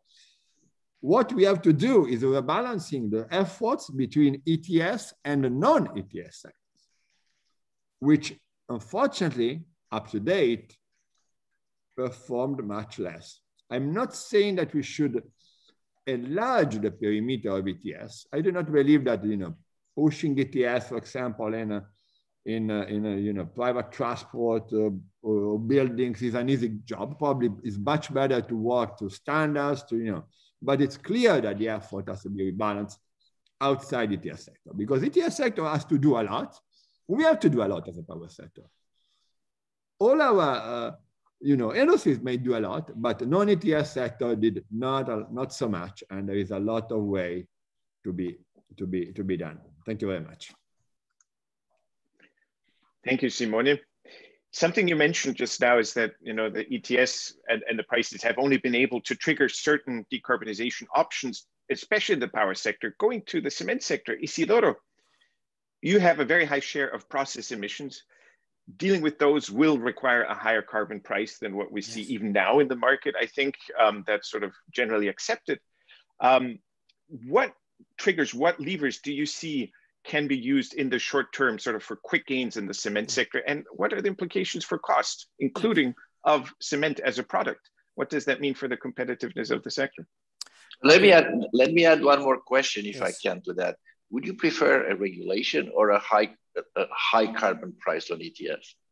I mean, um, in reality, and Simon uh, mentioned it, is market dynamics uh, who really drive uh, the movements of uh, of companies like us. Uh, it is very obvious that these markets dynamics are in many cases driven by by legislation. I mean, uh, how many markets of CO two do exist uh, in the world. Few of those, and, one of these is in in Europe. But this uh, this market of of CO two uh, has driven the, the, the behavior of the of the cement industry. Andre, you were mentioning at the beginning of this panel this one to one, and I corrected you. Is one uh, one to point eight. Is uh, eventually we're going down to to one uh, to to point six, and even uh, my group LafargeHolcim has stated very clear that in 2030 it will be less than one to point five. Eh? So, so so really there there is a market dynamic that in many cases is, is driven by this uh, this uh, this price. Right? And and to, to, to, to reply to your question, uh, Michael, what are the, the, the things that the cement uh, industry is doing? For sure, uh, increasing energy efficiency, etc. But I mentioned uh, in my previous intervention the, the, the, the most important focus that the cement industry has is circular. I mean, uh, circular uh, circular energy in, in, particular is a way in which uh, the cement industry is working a lot. Thanks to this, we have already reduced 18% CO2 emissions compared to 1990 Kyoto, and working with with alternative fuels by replacing fossil fuels. today, the, the cement industry in Europe is saving close to 22% uh, 22 million tons sorry, of, um, of CO2 emissions at, uh, at EU level because we have already replaced 48% uh, of fossil fuels with, uh, with alternative fuels that can be urban waste, industrial waste. And, and, we want to go beyond that. We want to reach 60% in 2030 and 90% in 2050 and, and half of that uh, being uh, biomass. So we want the, the, the, cement industry to really be part of the effort of, uh, of European society towards uh, reduction of, uh, of CO2 emissions. So, and as I mentioned to you, is this market dynamics created by, by the CO2 uh, prices that is not only working on the, on the industrial side, but also trying to push an offer to uh, to customers. You see uh, here on uh, on my side of my screen this EcoPact. I mean, uh, we have launched uh, a low carbon uh, concrete for for our customers, and I have seen many questions from from panelists, from people listening to to us. Is there a market for this? And this is the key challenge. I mean, how do we drive the public opinion towards the consumption of this uh, low carbon uh, product because at the very end, we are an industry. We are driven to, to consumers and, and to their requests. So really, all us uh, Europeans needs to be driven towards the, the, the, the consumption of uh, these uh, low CO2 products. Otherwise, uh, what's the point in producing a low CO2 carbon or an electric car if there is not a consumption of it? So we, we really need to think about the behavior of the industry that we are doing and also the behavior of the so European society. And this is what I, the question that I have is, do we see anything in this package that would drive that consumer uh, behavior in, in a significant way? I have two hands up uh, right now. So if you folks want to have questions, please raise your little electronic hand up. Before I go, however, to Jörg Zachmann, as you know, Jörg, again, you uh, you close the loop here, as my boss used to say, and you have the opportunity to reflect to some of the stuff that you heard. But is this is this real pack? This package is going to have a significant impact of the industrial landscape in Europe when this legislation is in, implemented. I mean, it's going to take a couple of years, but eventually we're going to get there. Uh, you know, by hook or by crook. So is this going to alter the industrial? Is there going to be an industrial Europe at the end of this? That's a, um, I mean, it's a complex question because we we don't know. You have two minutes. Great. um, no, but it, I would argue that um, it will still policy and technology where this will drive us. So just to give an example, I mean, in steel production, we, we might steel production to end up in some hydrogen valleys close to, to North Sea landing points for hydrogen. If that's the technology that we that we support and uh, and uh, or that the richest countries support and uh, that uh, that is then going to dominate. Or we might have high, uh, essentially steel production in regions in the south where electricity is cheap because of a lot of, uh, of solar being there. Or we might have uh, um, steel production in regions that have access to carbon, uh, yeah, carbon storage space, more like close to the North Sea again. So I think the global uh, or the European distribution of industry might quite significantly uh, change with the uh, with the development of the energy sector that we see in the uh, in the next one or two decades. And policy is going to be, uh, play a big role. We still have this discussion on the role of hydrogen, the role maybe of different forms of, uh, of greener or less green methane, and uh, the, the role of electricity, and uh, also where this is going to come from. So whether some of this uh, energy is going to be imported and where essentially the landing points will be, or whether at the end of the day, uh, people see that maybe steel production uh, close to where the sun is namely in, in Africa or in Saudi Arabia, makes much more sense than, uh, than shipping around hydrogen across the uh, Harvey world and, uh, and then producing steel at, uh, at three to, to 10 times higher energy cost here in Europe. So I think there are still so the future is not yet written on that, and the uh, and the regional distributional effects that uh, that this might have can be can be quite significant. The question now is, what are we uh, going to do about that? So are we trying to uh, to kind of uh, fight against that with protective measures that kind of keep the existing industry as long as possible to, to see it then all of a sudden completely vanished? Um, or by giving free allowances or overly protective carbon border measures? Or do we try to, to kind of ride the wave and, and find solutions that are good for us and, and start to support the stuff that we think is uh, is good for our industry. And of course, I would argue for the second. So uh, the, my thinking would be, yes, Europe is only 10% of the emissions. So uh, what can Europe's role be? Well, I don't think we should kind of wait and see, but we should go ahead and say, okay, we are providing the technology for the for the world. We are showing the uh, showing the way, and we are saying where this uh, stuff is going to be located.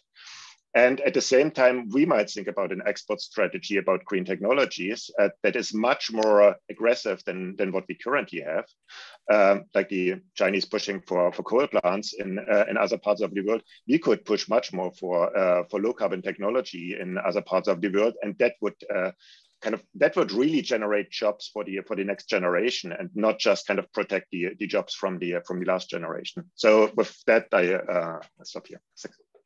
Thank you. Uh, look, I uh, I had have a couple of people, and I, I let uh, already I uh, John Cooper from FuelsEurope uh, to uh, into the as a, as a panelist. So John, are you there? Yes, I am. Can you okay. hear me? Okay. Yes. Let's try to make this as brief as possible, and then for Pete Harrison, Pete Harrison after this. Yeah, thanks. Go ahead. Thanks, Andre. Go ahead, uh, look, I've, yeah. I've, got a question. Uh, there's a lot of discussion about the role of uh, carbon pricing and whether that's sufficient. Um, but a lot of the problems that come up there is because it's not yet international. And of course, while we are having this dialogue in Europe about how to make uh, extension of ETS uh, and the, the deepening of the, of the targets work, together with the CBAM, we've got international trade negotiations going on. I'm interested in panelists' views on how Europe uses the, the CBAM idea to progress uh, the pressure for carbon pricing schemes in other parts of the world, in particular our major trade partners. Thanks. Thank you, John. And I think that as a as somebody who is going to attend UNFCCC negotiations in uh, starting Monday, uh, you know, I wonder how a G77 negotiator will react to that. Uh, Pete Harrison. Yeah, thanks, Andre. Um, so I, I, guess my question is, is primarily kind of directed at Jude, but I think it's probably a relevant question to, to everyone on the panel. And it's, um, it's about planning for just transition.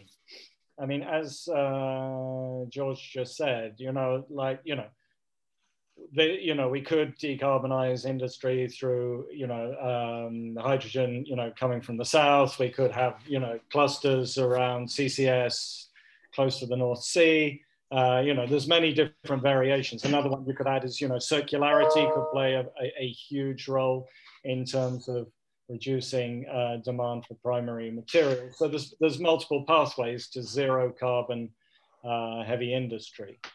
And I wonder, what does that mean in terms of uh, planning for just transition? Because you know, you know, it, it, it, becomes quite difficult then to identify both geographically and temporarily where the impacts are going to happen. Yeah. Um, and you know the same is true, of course, with energy decarbonization. You know, to some extent, we know that we're you know we're moving away from coal now. We don't really understand where the non-economic barriers are going to occur, nor do we understand whether we're going to go leap straight to renewables or perhaps actually incrementally we're going to drop into a world of gas, right? And so that so you know my, my thinking is about you know how does that compare with uh, a, pro, a, a, process that is driven via norms and standards, right? If you say we're banning combustion engines in 2030, you pretty much know what you're going to get. You can plan for that temporarily and geo. Uh, and and let's keep it short, please. Yeah. So uh, essentially, you know, just to reflect on the difficulties or the differences for just transition planning between a market-based mechanisms approach versus a approach based on norms and standards. Thank you. Uh, Pete, you are from, just introduce yourself because I don't show uh, everybody. The, I, we all, yeah. from the European Climate uh, Foundation. Thank you, Peter. Uh, guys, uh, okay, anybody wants to pick up on these two questions? Uh, who, you know, this is a rapid fire discussion. Simone, you want to start? Yes, yes, very, very quick answer. Well, on the global carbon price is a very, is a, again, I will try to be again provocative. I think we, we all have to thank Donald Trump because without without uh, his uh, presidency, probably Europe would never uh, into consideration the idea of introducing some kind of example of border carbon adjustment or this kind of stuff. Maybe I, am exaggerating, I'm overshooting a little bit, but it's not. I, I, I don't believe it to be so very far from reality. And I believe that this is, this is a process that will come I'm pretty much optimistic on that, step by step. This is not, you know, overnight. So, but uh, it's clear that giving to everybody the impression that we are ready to raise some barrier in order to prevent carbon, uh, uh, more carbon leakage, I would say carbon dumping, uh, it will be it will be a clear signal that something has to move, and probably uh, you know we already have, as you know, where you are the probably the most expert guy in the planet on that. We have a very good uh, experience coming up at local level in different geographies, also unexpected geography. So we tend to be optimistic. It's not going to be a, a fast a fast journey, but it, it will come. On the just transition, that's very important. I agree with your point. That's that's fundamental. I I have, I believe that uh, I'm pretty much confident that Europe is ready to work on the most critical areas. So I believe that tools, money, and policies that Europe has in mind and put in place in order to manage you know, the transition in the, I don't know, in the coal uh, uh, producing regions of Central Eastern Europe uh, will deliver because it's something that is already there in some way. But this is not the key. I mean, we have to take this for, for granted. What, what is really relevant? We, we, we, we, took, we carried out several studies demonstrated that the, the overall transition, accelerated transition may bring more jobs. The problem is more on the quality, on the quality on the mix. It's changed a lot of mix. And I think two things are needed. The first one is, again, the right education for our young uh, uh, citizens, because today in many countries, including in the most advanced countries in terms of education, the system is not very much matching with what is needed for the for the transition. Second, we, we need what you, we use it to call political industry, industrial, uh, sorry, uh, industrial policies, sorry, for the critical value chains of the energy transition. Because this is a war, this is a real, the real competition is. We have to be able to incorporate in our regions, in our continent, the critical value chains leading to the energy transition. What we are doing on battery is important, it's not enough. Probably what we want to do on hydrogen electrolyzer is important, it's not enough. We have to do more. A lot of our research, probably we may ensure step by step new generation high-tech um, components for renewable generation and, and, so on and so forth. That, this is very important. This is where the real issue of just transition is the ability to uh, have in Europe, to bring in Europe the critical value chains. Judith? Yeah. I think uh, John wants to introduce after intervene after that. Go ahead. Oh, okay. Um, so um, a word on both uh, questions. Um, I'm glad you answered before me, Simona, because um, uh, I have to say uh, I don't have the optimism uh, that you have about uh, what Europe actually knows. Partly because let's look at actually what Europe knows about this transition. We don't have any employment figures at granular level to be able to identify where the workers are who will be impacted by the just transition in key sectors in all of the energy intensive industries, in the automotive industry, across the transport sector, we actually don't know where those workers are if you look in terms of regional level and local level. So how can you organize in a coherent way a just transition when you don't actually know where the people um, geographically are who are right on the front face of the transition. All of the impact assessments stop at a level of analysis which is incredibly abstract compared to the reality on the ground. So we need to have far more granular analysis to be able to have a comprehensive framework on just transition, which will allow the accompaniment of, of people and regions through the transition. That's the, that's the first point. The second point is this question of markets or regulation. It's clear, um, uh, Pete, that uh, a regulatory framework allows a more um, managed transition. Um, you can structure employment programs, regional development programs along the frame of the regulation. Market um, mechanisms always add a level of, of uncertainty into the mix, but that's not saying that a, a good combination of both isn't the way to work forward. The problem for us is when all of the emphasis is on the ETS and on the carbon price signal without the regulatory framework um, supporting as well. And it's actually the combination, and that's when we talk about a strong industrial policy uh, uh, strategy alongside uh, the ETS. That's what we're talking about. The structures to create markets for new products, the role of standardization, the role of public procurement as a lever um, for change, as well as um, actual emission standards in different sectors. And for example, for road transport, it was said um, earlier, I think also by Simona, uh, that uh, the extension of the ETS to a sector like road transport, in our view, is a real um, a real wrong step um, from the EU level. Far better to use standards and, and other mechanisms, regulatory mechanisms, rather than rather than market um, mechanisms. Um, so for planning, this is a colossal change across Europe. I think sometimes people underestimate the scale of the social transition that we're talking about and the impact in terms of employment and the impact um, of, yes, today's workforce, um, but if we lose, for example, vocational education facilities, if we lose all of the, the industrial fabric around different sectors, that then has a direct knock-on impact on future um, employment and the opportunity to pull back and to, to be able to um, master some of the opportunities of the future. And we're seeing from things like the Battery Alliance that actually skills and skills shortages and the skills infrastructure and that social uh, dimension is seen as a key bottleneck for the development of the industry in Europe. So let's not underestimate um, the, the scale of the challenge. Just a word on CBAM really, really quickly. I think what's very interesting in the last few months is the level of climate diplomacy which has been sparked as a result of the proposal, the, the assertion from Europe that we are moving forward regardless of opposition elsewhere. And I think that opens up um, some um, new discussions at international level with key trading partners actually to leverage up climate ambition elsewhere in the world. So when, when Europe shows that it's serious and that it's not backing down under pressure from trading partners.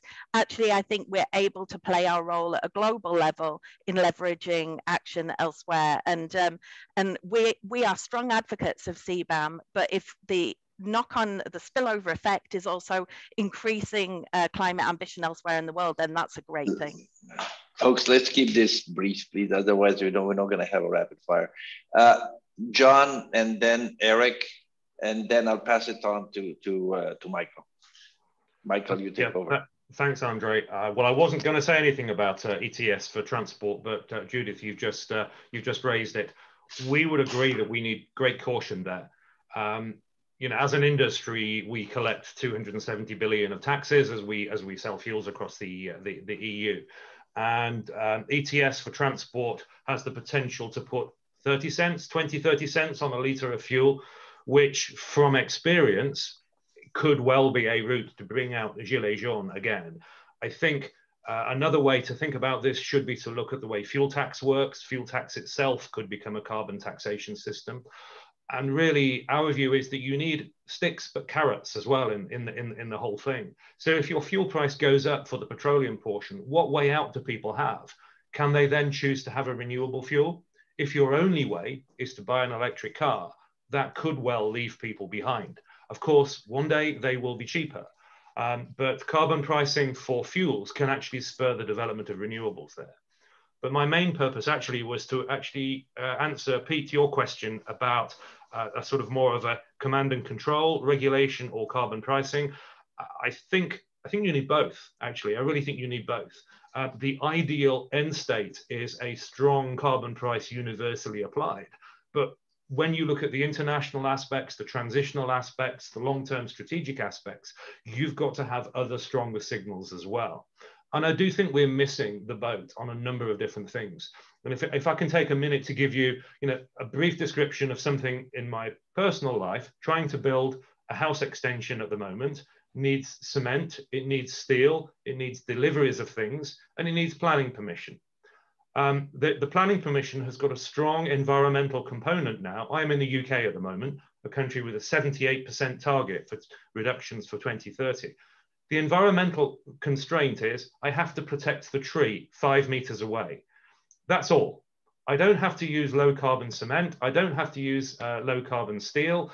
Um, protect, protecting the tree will cost an extra 20% on the project having low carbon cement and steel, I reckon would put 2% on the cost of the project. Planning permission or other restrictions outside of carbon pricing could also help create an incentive and a visibility to customers for low carbon products. And our experience actually looking at how the development of electric cars is working, there are many other ways to nudge consumers towards that option. Use of a bus lane, free parking, etc. Number of different things. So it's both. And let's be creative about how we nudge the customers into the better choices. Yeah. Let me nudge the next speaker. Uh, Michael, you take over. I think um, Erkki still had his hand yeah, raised. Thank you very, very briefly, Andre and, and, Michael. Thank you.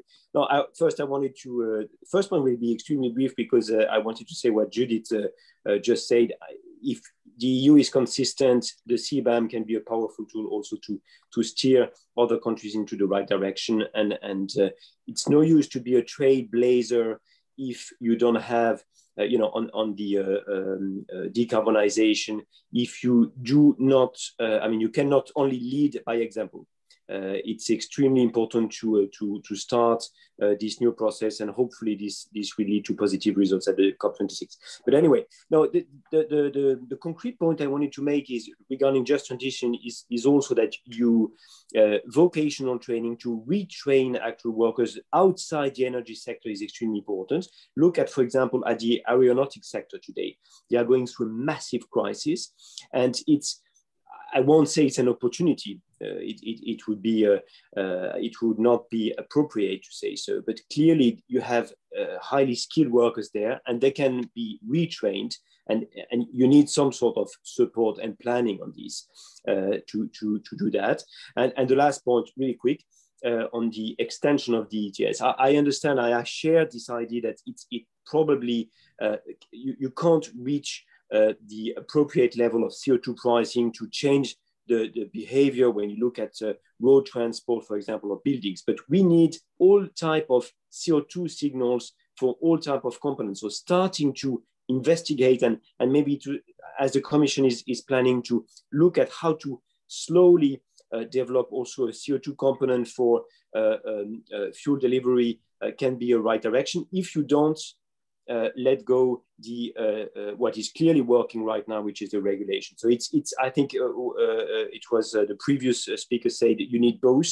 you need even more than both. You need also some some action on taxation again to have the, the proper hierarchy between what is uh, with a heavy uh, CO2 content and with what is without CO2 content. Thank you. Merci. Isidoro, muy breve, por favor. Yes, no, I mean, I think uh, I raised the point several times, and I'm very happy about the, the speech of, of John. I mean, we're we're focused on on the European Commission, the Fit uh, for 55 pack, the industry uh, behavior, and and at few points we have spoken about the customers. All of us. I mean, there are 221 panelists I see uh, today. I mean, we need to change our habit. I'm, I'm, I'm, it was good to hear to John that he needs to protect the tree. I hope he he also used uh, this uh, low carbon uh, cement, low carbon concrete, that he built a house with a high uh, level of uh, thermal uh, efficiency because the future is there. And I think I want to make a pledge that I think uh, through this panel, we have demonstrated that the industry is willing to commit, is willing to change, is willing to reduce uh, the CO2 footprint, but also make a pledge that we all European customers uh, realize that we have a role uh, to play by consuming these low CO2 products. Thank you. Among the attendees, two hands were raised. I'll start with Robert Jan Jeekel of ArcelorMittal. Thanks very much. Welcome, Robert. Can you hear me like this, Rob? Yes, yes, yes, we can hear Thanks.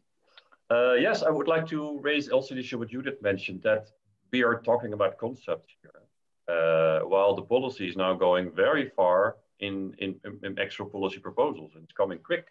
And they need to be based on, on industry and commercial reality, and that we have not seen. So we know a little bit more about the policy concepts, but we don't know what is the actual impact on commercial things, on, on the workers, that you just said, but also the industry. Uh, but what you see is what is not being discussed today is the what we really need is financial resources for the carbon decarbonization. And that I've not heard, and I think maybe that's you can also have another session on that, uh, because this not it is not there, it wasn't there, and now with the new European debt union, it's a big problem. And what is behind all this policy, what you see, is exactly this issue. Why is transport being proposed as ETS? Not because it's efficient, only to raise money. Why is there full auctioning proposals for industry?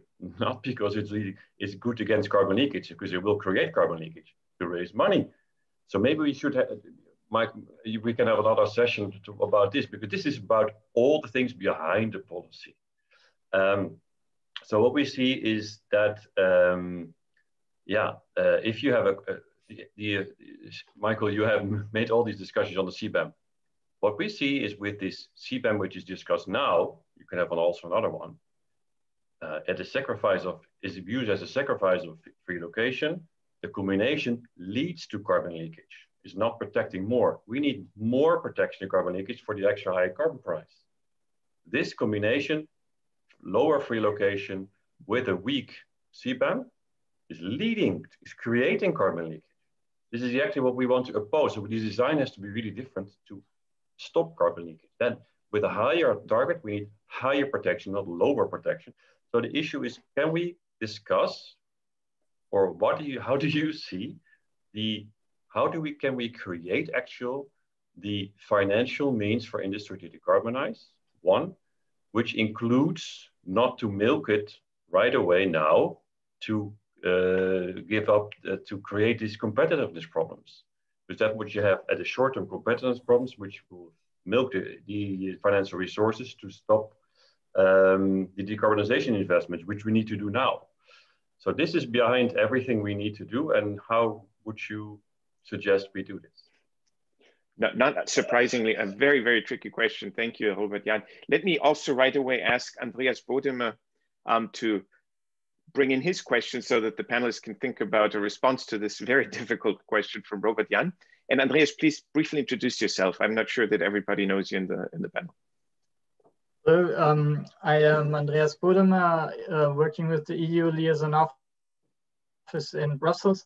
And as a trade union, we represent around uh, 2.3 million workers in different sectors, such as the automotive industry, steel, etc. So we have some real world experience with transition. And I can tell you, we are in the middle of a transition. It is not as we are seeing a transition uh, at the horizon.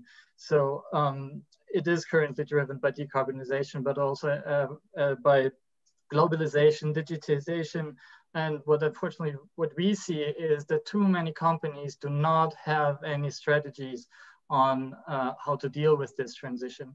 So with all the talk about regulators and what uh, what politics have to do and what institutions have to do, we must not forget the um, companies and hold them responsible for uh, developing just transition pathways. So that would be my my my adding probably to to the discussion and uh, to have it to keep the keep business uh, in in mind. Thank you, Andreas. Um, Andre, I, I think you know we could just ask for responses, or we could also really already have kind of a closing round. These were two very forward-looking and broad questions, and I think each panelist will have some thoughts. What do you think? I think that we should, I think considering the fact we have another 10 minutes, I think we should take a, a final round and, and give uh, people the opportunity to react to the questions as well as, as make their final uh, closing remarks. Should we start in? Yeah, uh, go ahead. Yeah, no, I was going to suggest let's start maybe in reverse order. We twice had the round starting with Erkki, ending with Georg. How about we start with Georg this time? Sorry to put you on the spot, Georg, but I know you're quick on your feet. Okay, um, yeah, uh, thanks, Michael. Um, maybe a, a thought on um, I mean, we had a broad, uh, broad discussion now, and I think um, maybe a thought on the distributional consequences again that uh, that have popped up on uh, on various occasions, and I think they are crucial for also kind of getting decarbonization, uh, getting kind of buy-in of voters into uh, into decarbonization policies. And um, we have had the question by Pete, for example, about the the role of um, uh, of standards and regulatory tools. And my take here is, I mean, we, we should not underestimate the distributional effects of, uh, of non-carbon pricing measures. Um, we have, um, for example, having discussions on Poland and the, and the role that coal plays still in the heating sector in Poland. And um, okay, if you have a high carbon price, people are going to, uh, uh, poor people that still have coal heating are going to pay very dearly. But if we introduce regulation to, to stop them from using them, uh, their, their coal heating, they have to completely stop uh, stop heating. So I, we have to be very careful not to uh, to shoot the idea of uh, um, um, kind of, uh, of, of, carbon pricing as an efficient tool with the argument of uh, of distributional effects, while other tools might be much more regressive. And here again, I would argue that uh, that there are support instruments that are available that can be made in a, uh, in, a, in, a, in a competitive way, also available for, for poorer households to help them to, uh, to benefit from decarbonization and maybe potentially leapfrog modernization of their household appliances uh, or their cars in a way that is good for our economy. And uh, Bruegel will come up in the, in the, in the next week with a paper on, on contracts for difference that might even uh, also look on the uh, on the household appliance side. So um, yeah, stay stay put for that. Thank you very much for, for having me. Thank you, Georg. And to Isidoro, responses to the two questions by Robert, Jan, Andreas, and also any other closing thoughts from your side? No, no, thank you very much. I think uh, the panel has been uh, uh, very, very, very interesting. I, I think I have uh, the, the, questions uh, are very relevant, and I have, think I have demonstrated through my not only my speech, but also the fact eh, that uh, correcting to, to Andre that it is no longer one to one, but but uh, one to, to 2.7 and even 2.5 uh, in the future. The industry is, is really working. We have developed one year ago uh, our uh, zero uh, carbon roadmap. We are very much working with the European Union. I think ETS mechanism has produced results and will continue to, to produce results. The industry requires this free free trades, free, free rights to, to continue uh, the evolution towards uh, 2030 and, uh, and beyond. So we, we, we are really willing to work with with Frans Timmermans and, and, and, his team on the definition of uh, of CBAM and and to, to say the least, uh, once again, uh, Europe has selected a, a, an economic uh, way of working. We really need to make sure that uh, we Europeans we uh, we we start thinking about uh, low carbon uh, solutions, low carbon product, and like John, we not only uh, care about the trees in our garden, but we also do care about the energy consumption in our houses, that there is enough ventilation and, and low energy consumption. I can tell you that uh, you you can achieve that with cement and concrete products. Thank you. Well, Isidoro, I, I can tell you one thing. I will remember that it's not one to one. That's one to 0.8 or 0.5. That I, you know, I will not make that mistake again. No, uh, I mean it's just part of the learning, Andrea. Every day we learn something. Absolutely. Uh, Simone, you had your hand up, but we just want. Yeah, no, no, it's okay. I, I, uh, I, I really like the spirit of, of, of of comment because you know we, we, you know in the, this kind of debates uh, that, that's very European. No? We are discussing a lot on how much things may go wrong, you know? without, without much reference to what is what has been working up to date and what may work. And I, am pretty much sure that this will may work. Of course, everything has to be improved. And in this spirit, you know, I, that's a more suggestion for you, Andre, because we should focus on what what is working, what worked. You know, going back to what Andreas was saying, and also in some case Judith.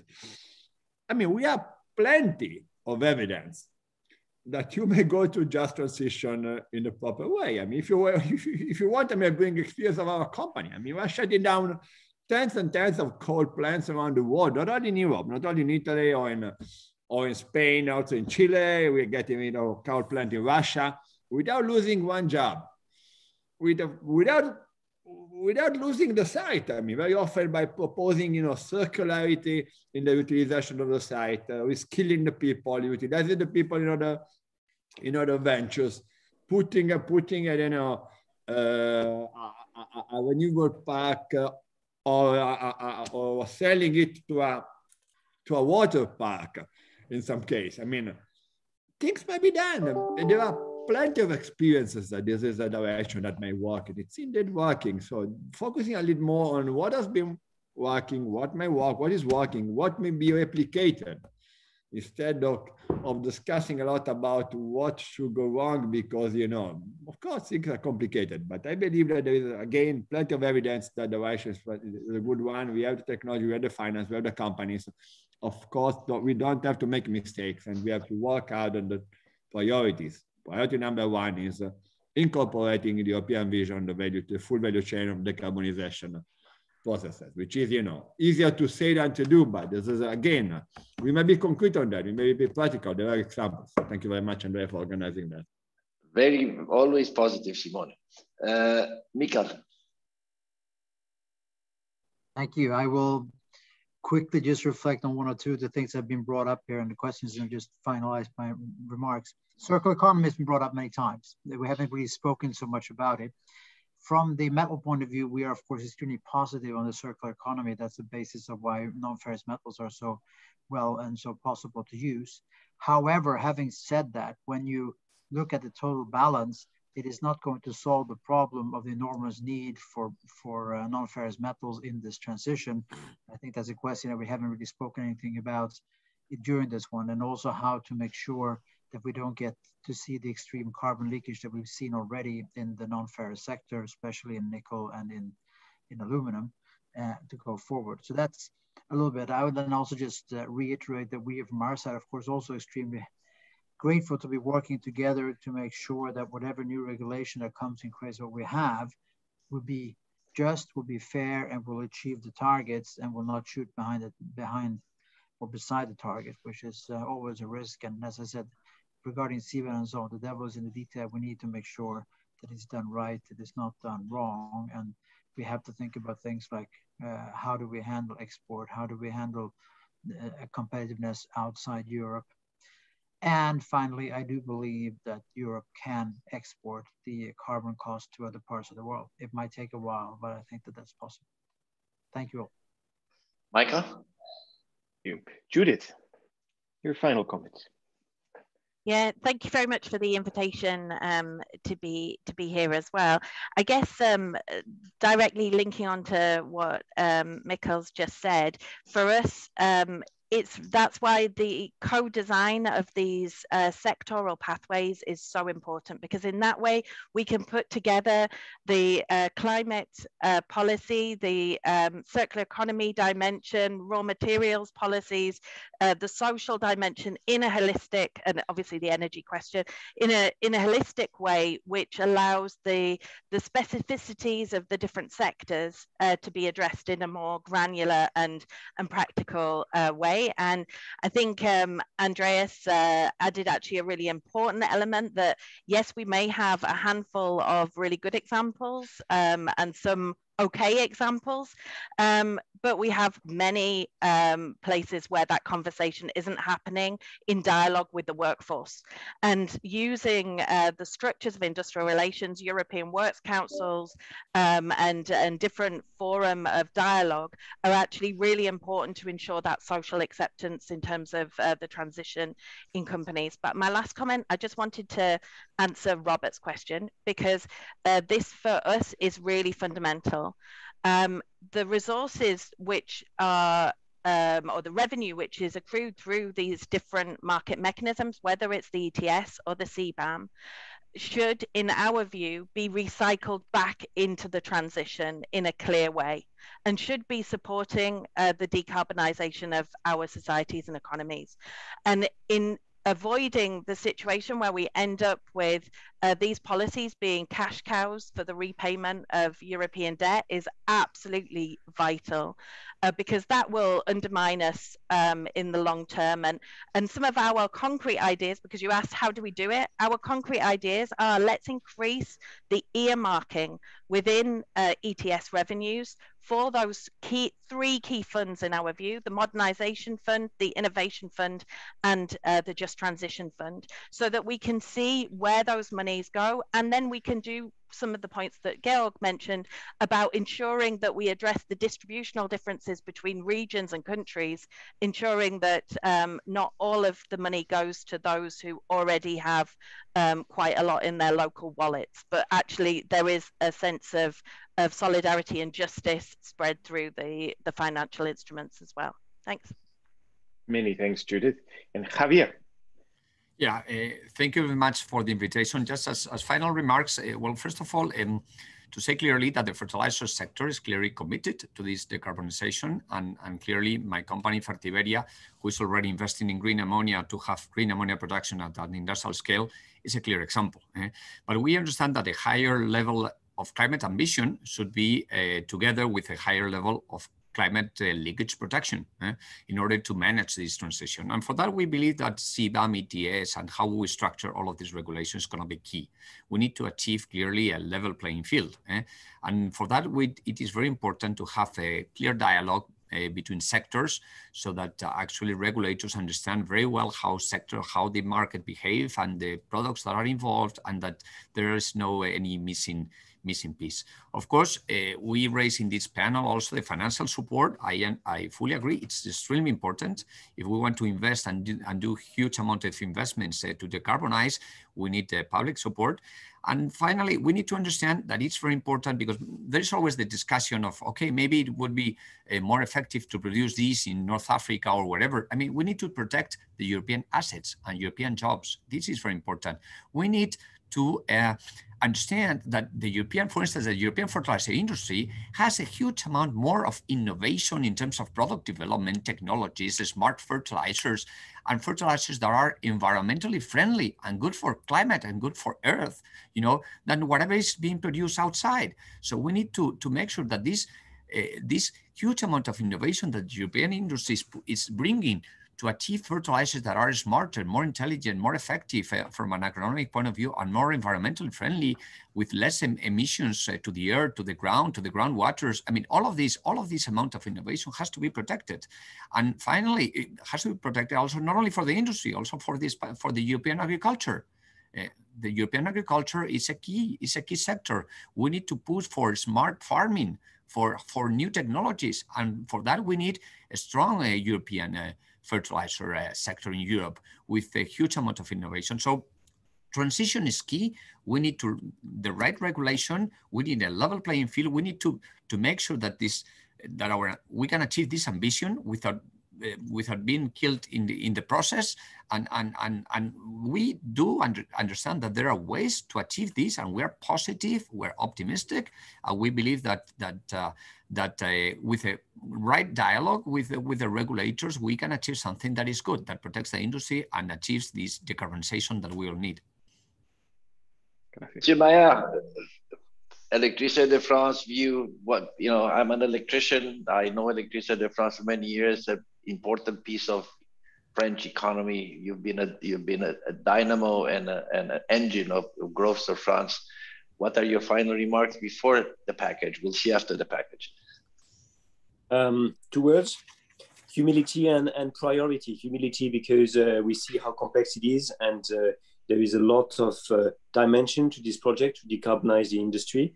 Uh, EDF is committed not only in France, but in, in Europe. Again, we produce 25%, uh, a quarter of the uh, total low carbon uh, um, electricity in Europe, and we invest more than 10 million, 10 billion, sorry, yearly in, in, in these technologies. But clear priority, and here I think again um, prioritizing the electrification and direct electrification is a no regret option if we want to, to avoid uh, uh, locking effects into uh, fossil fuels uh, technology. So that's why, uh, while uh, remaining humble when we look at solutions and testing many things, we should have a clear priority, set of priorities, and, and, and focus on the most cost effective way of decarbonizing the industries through low carbon electricity.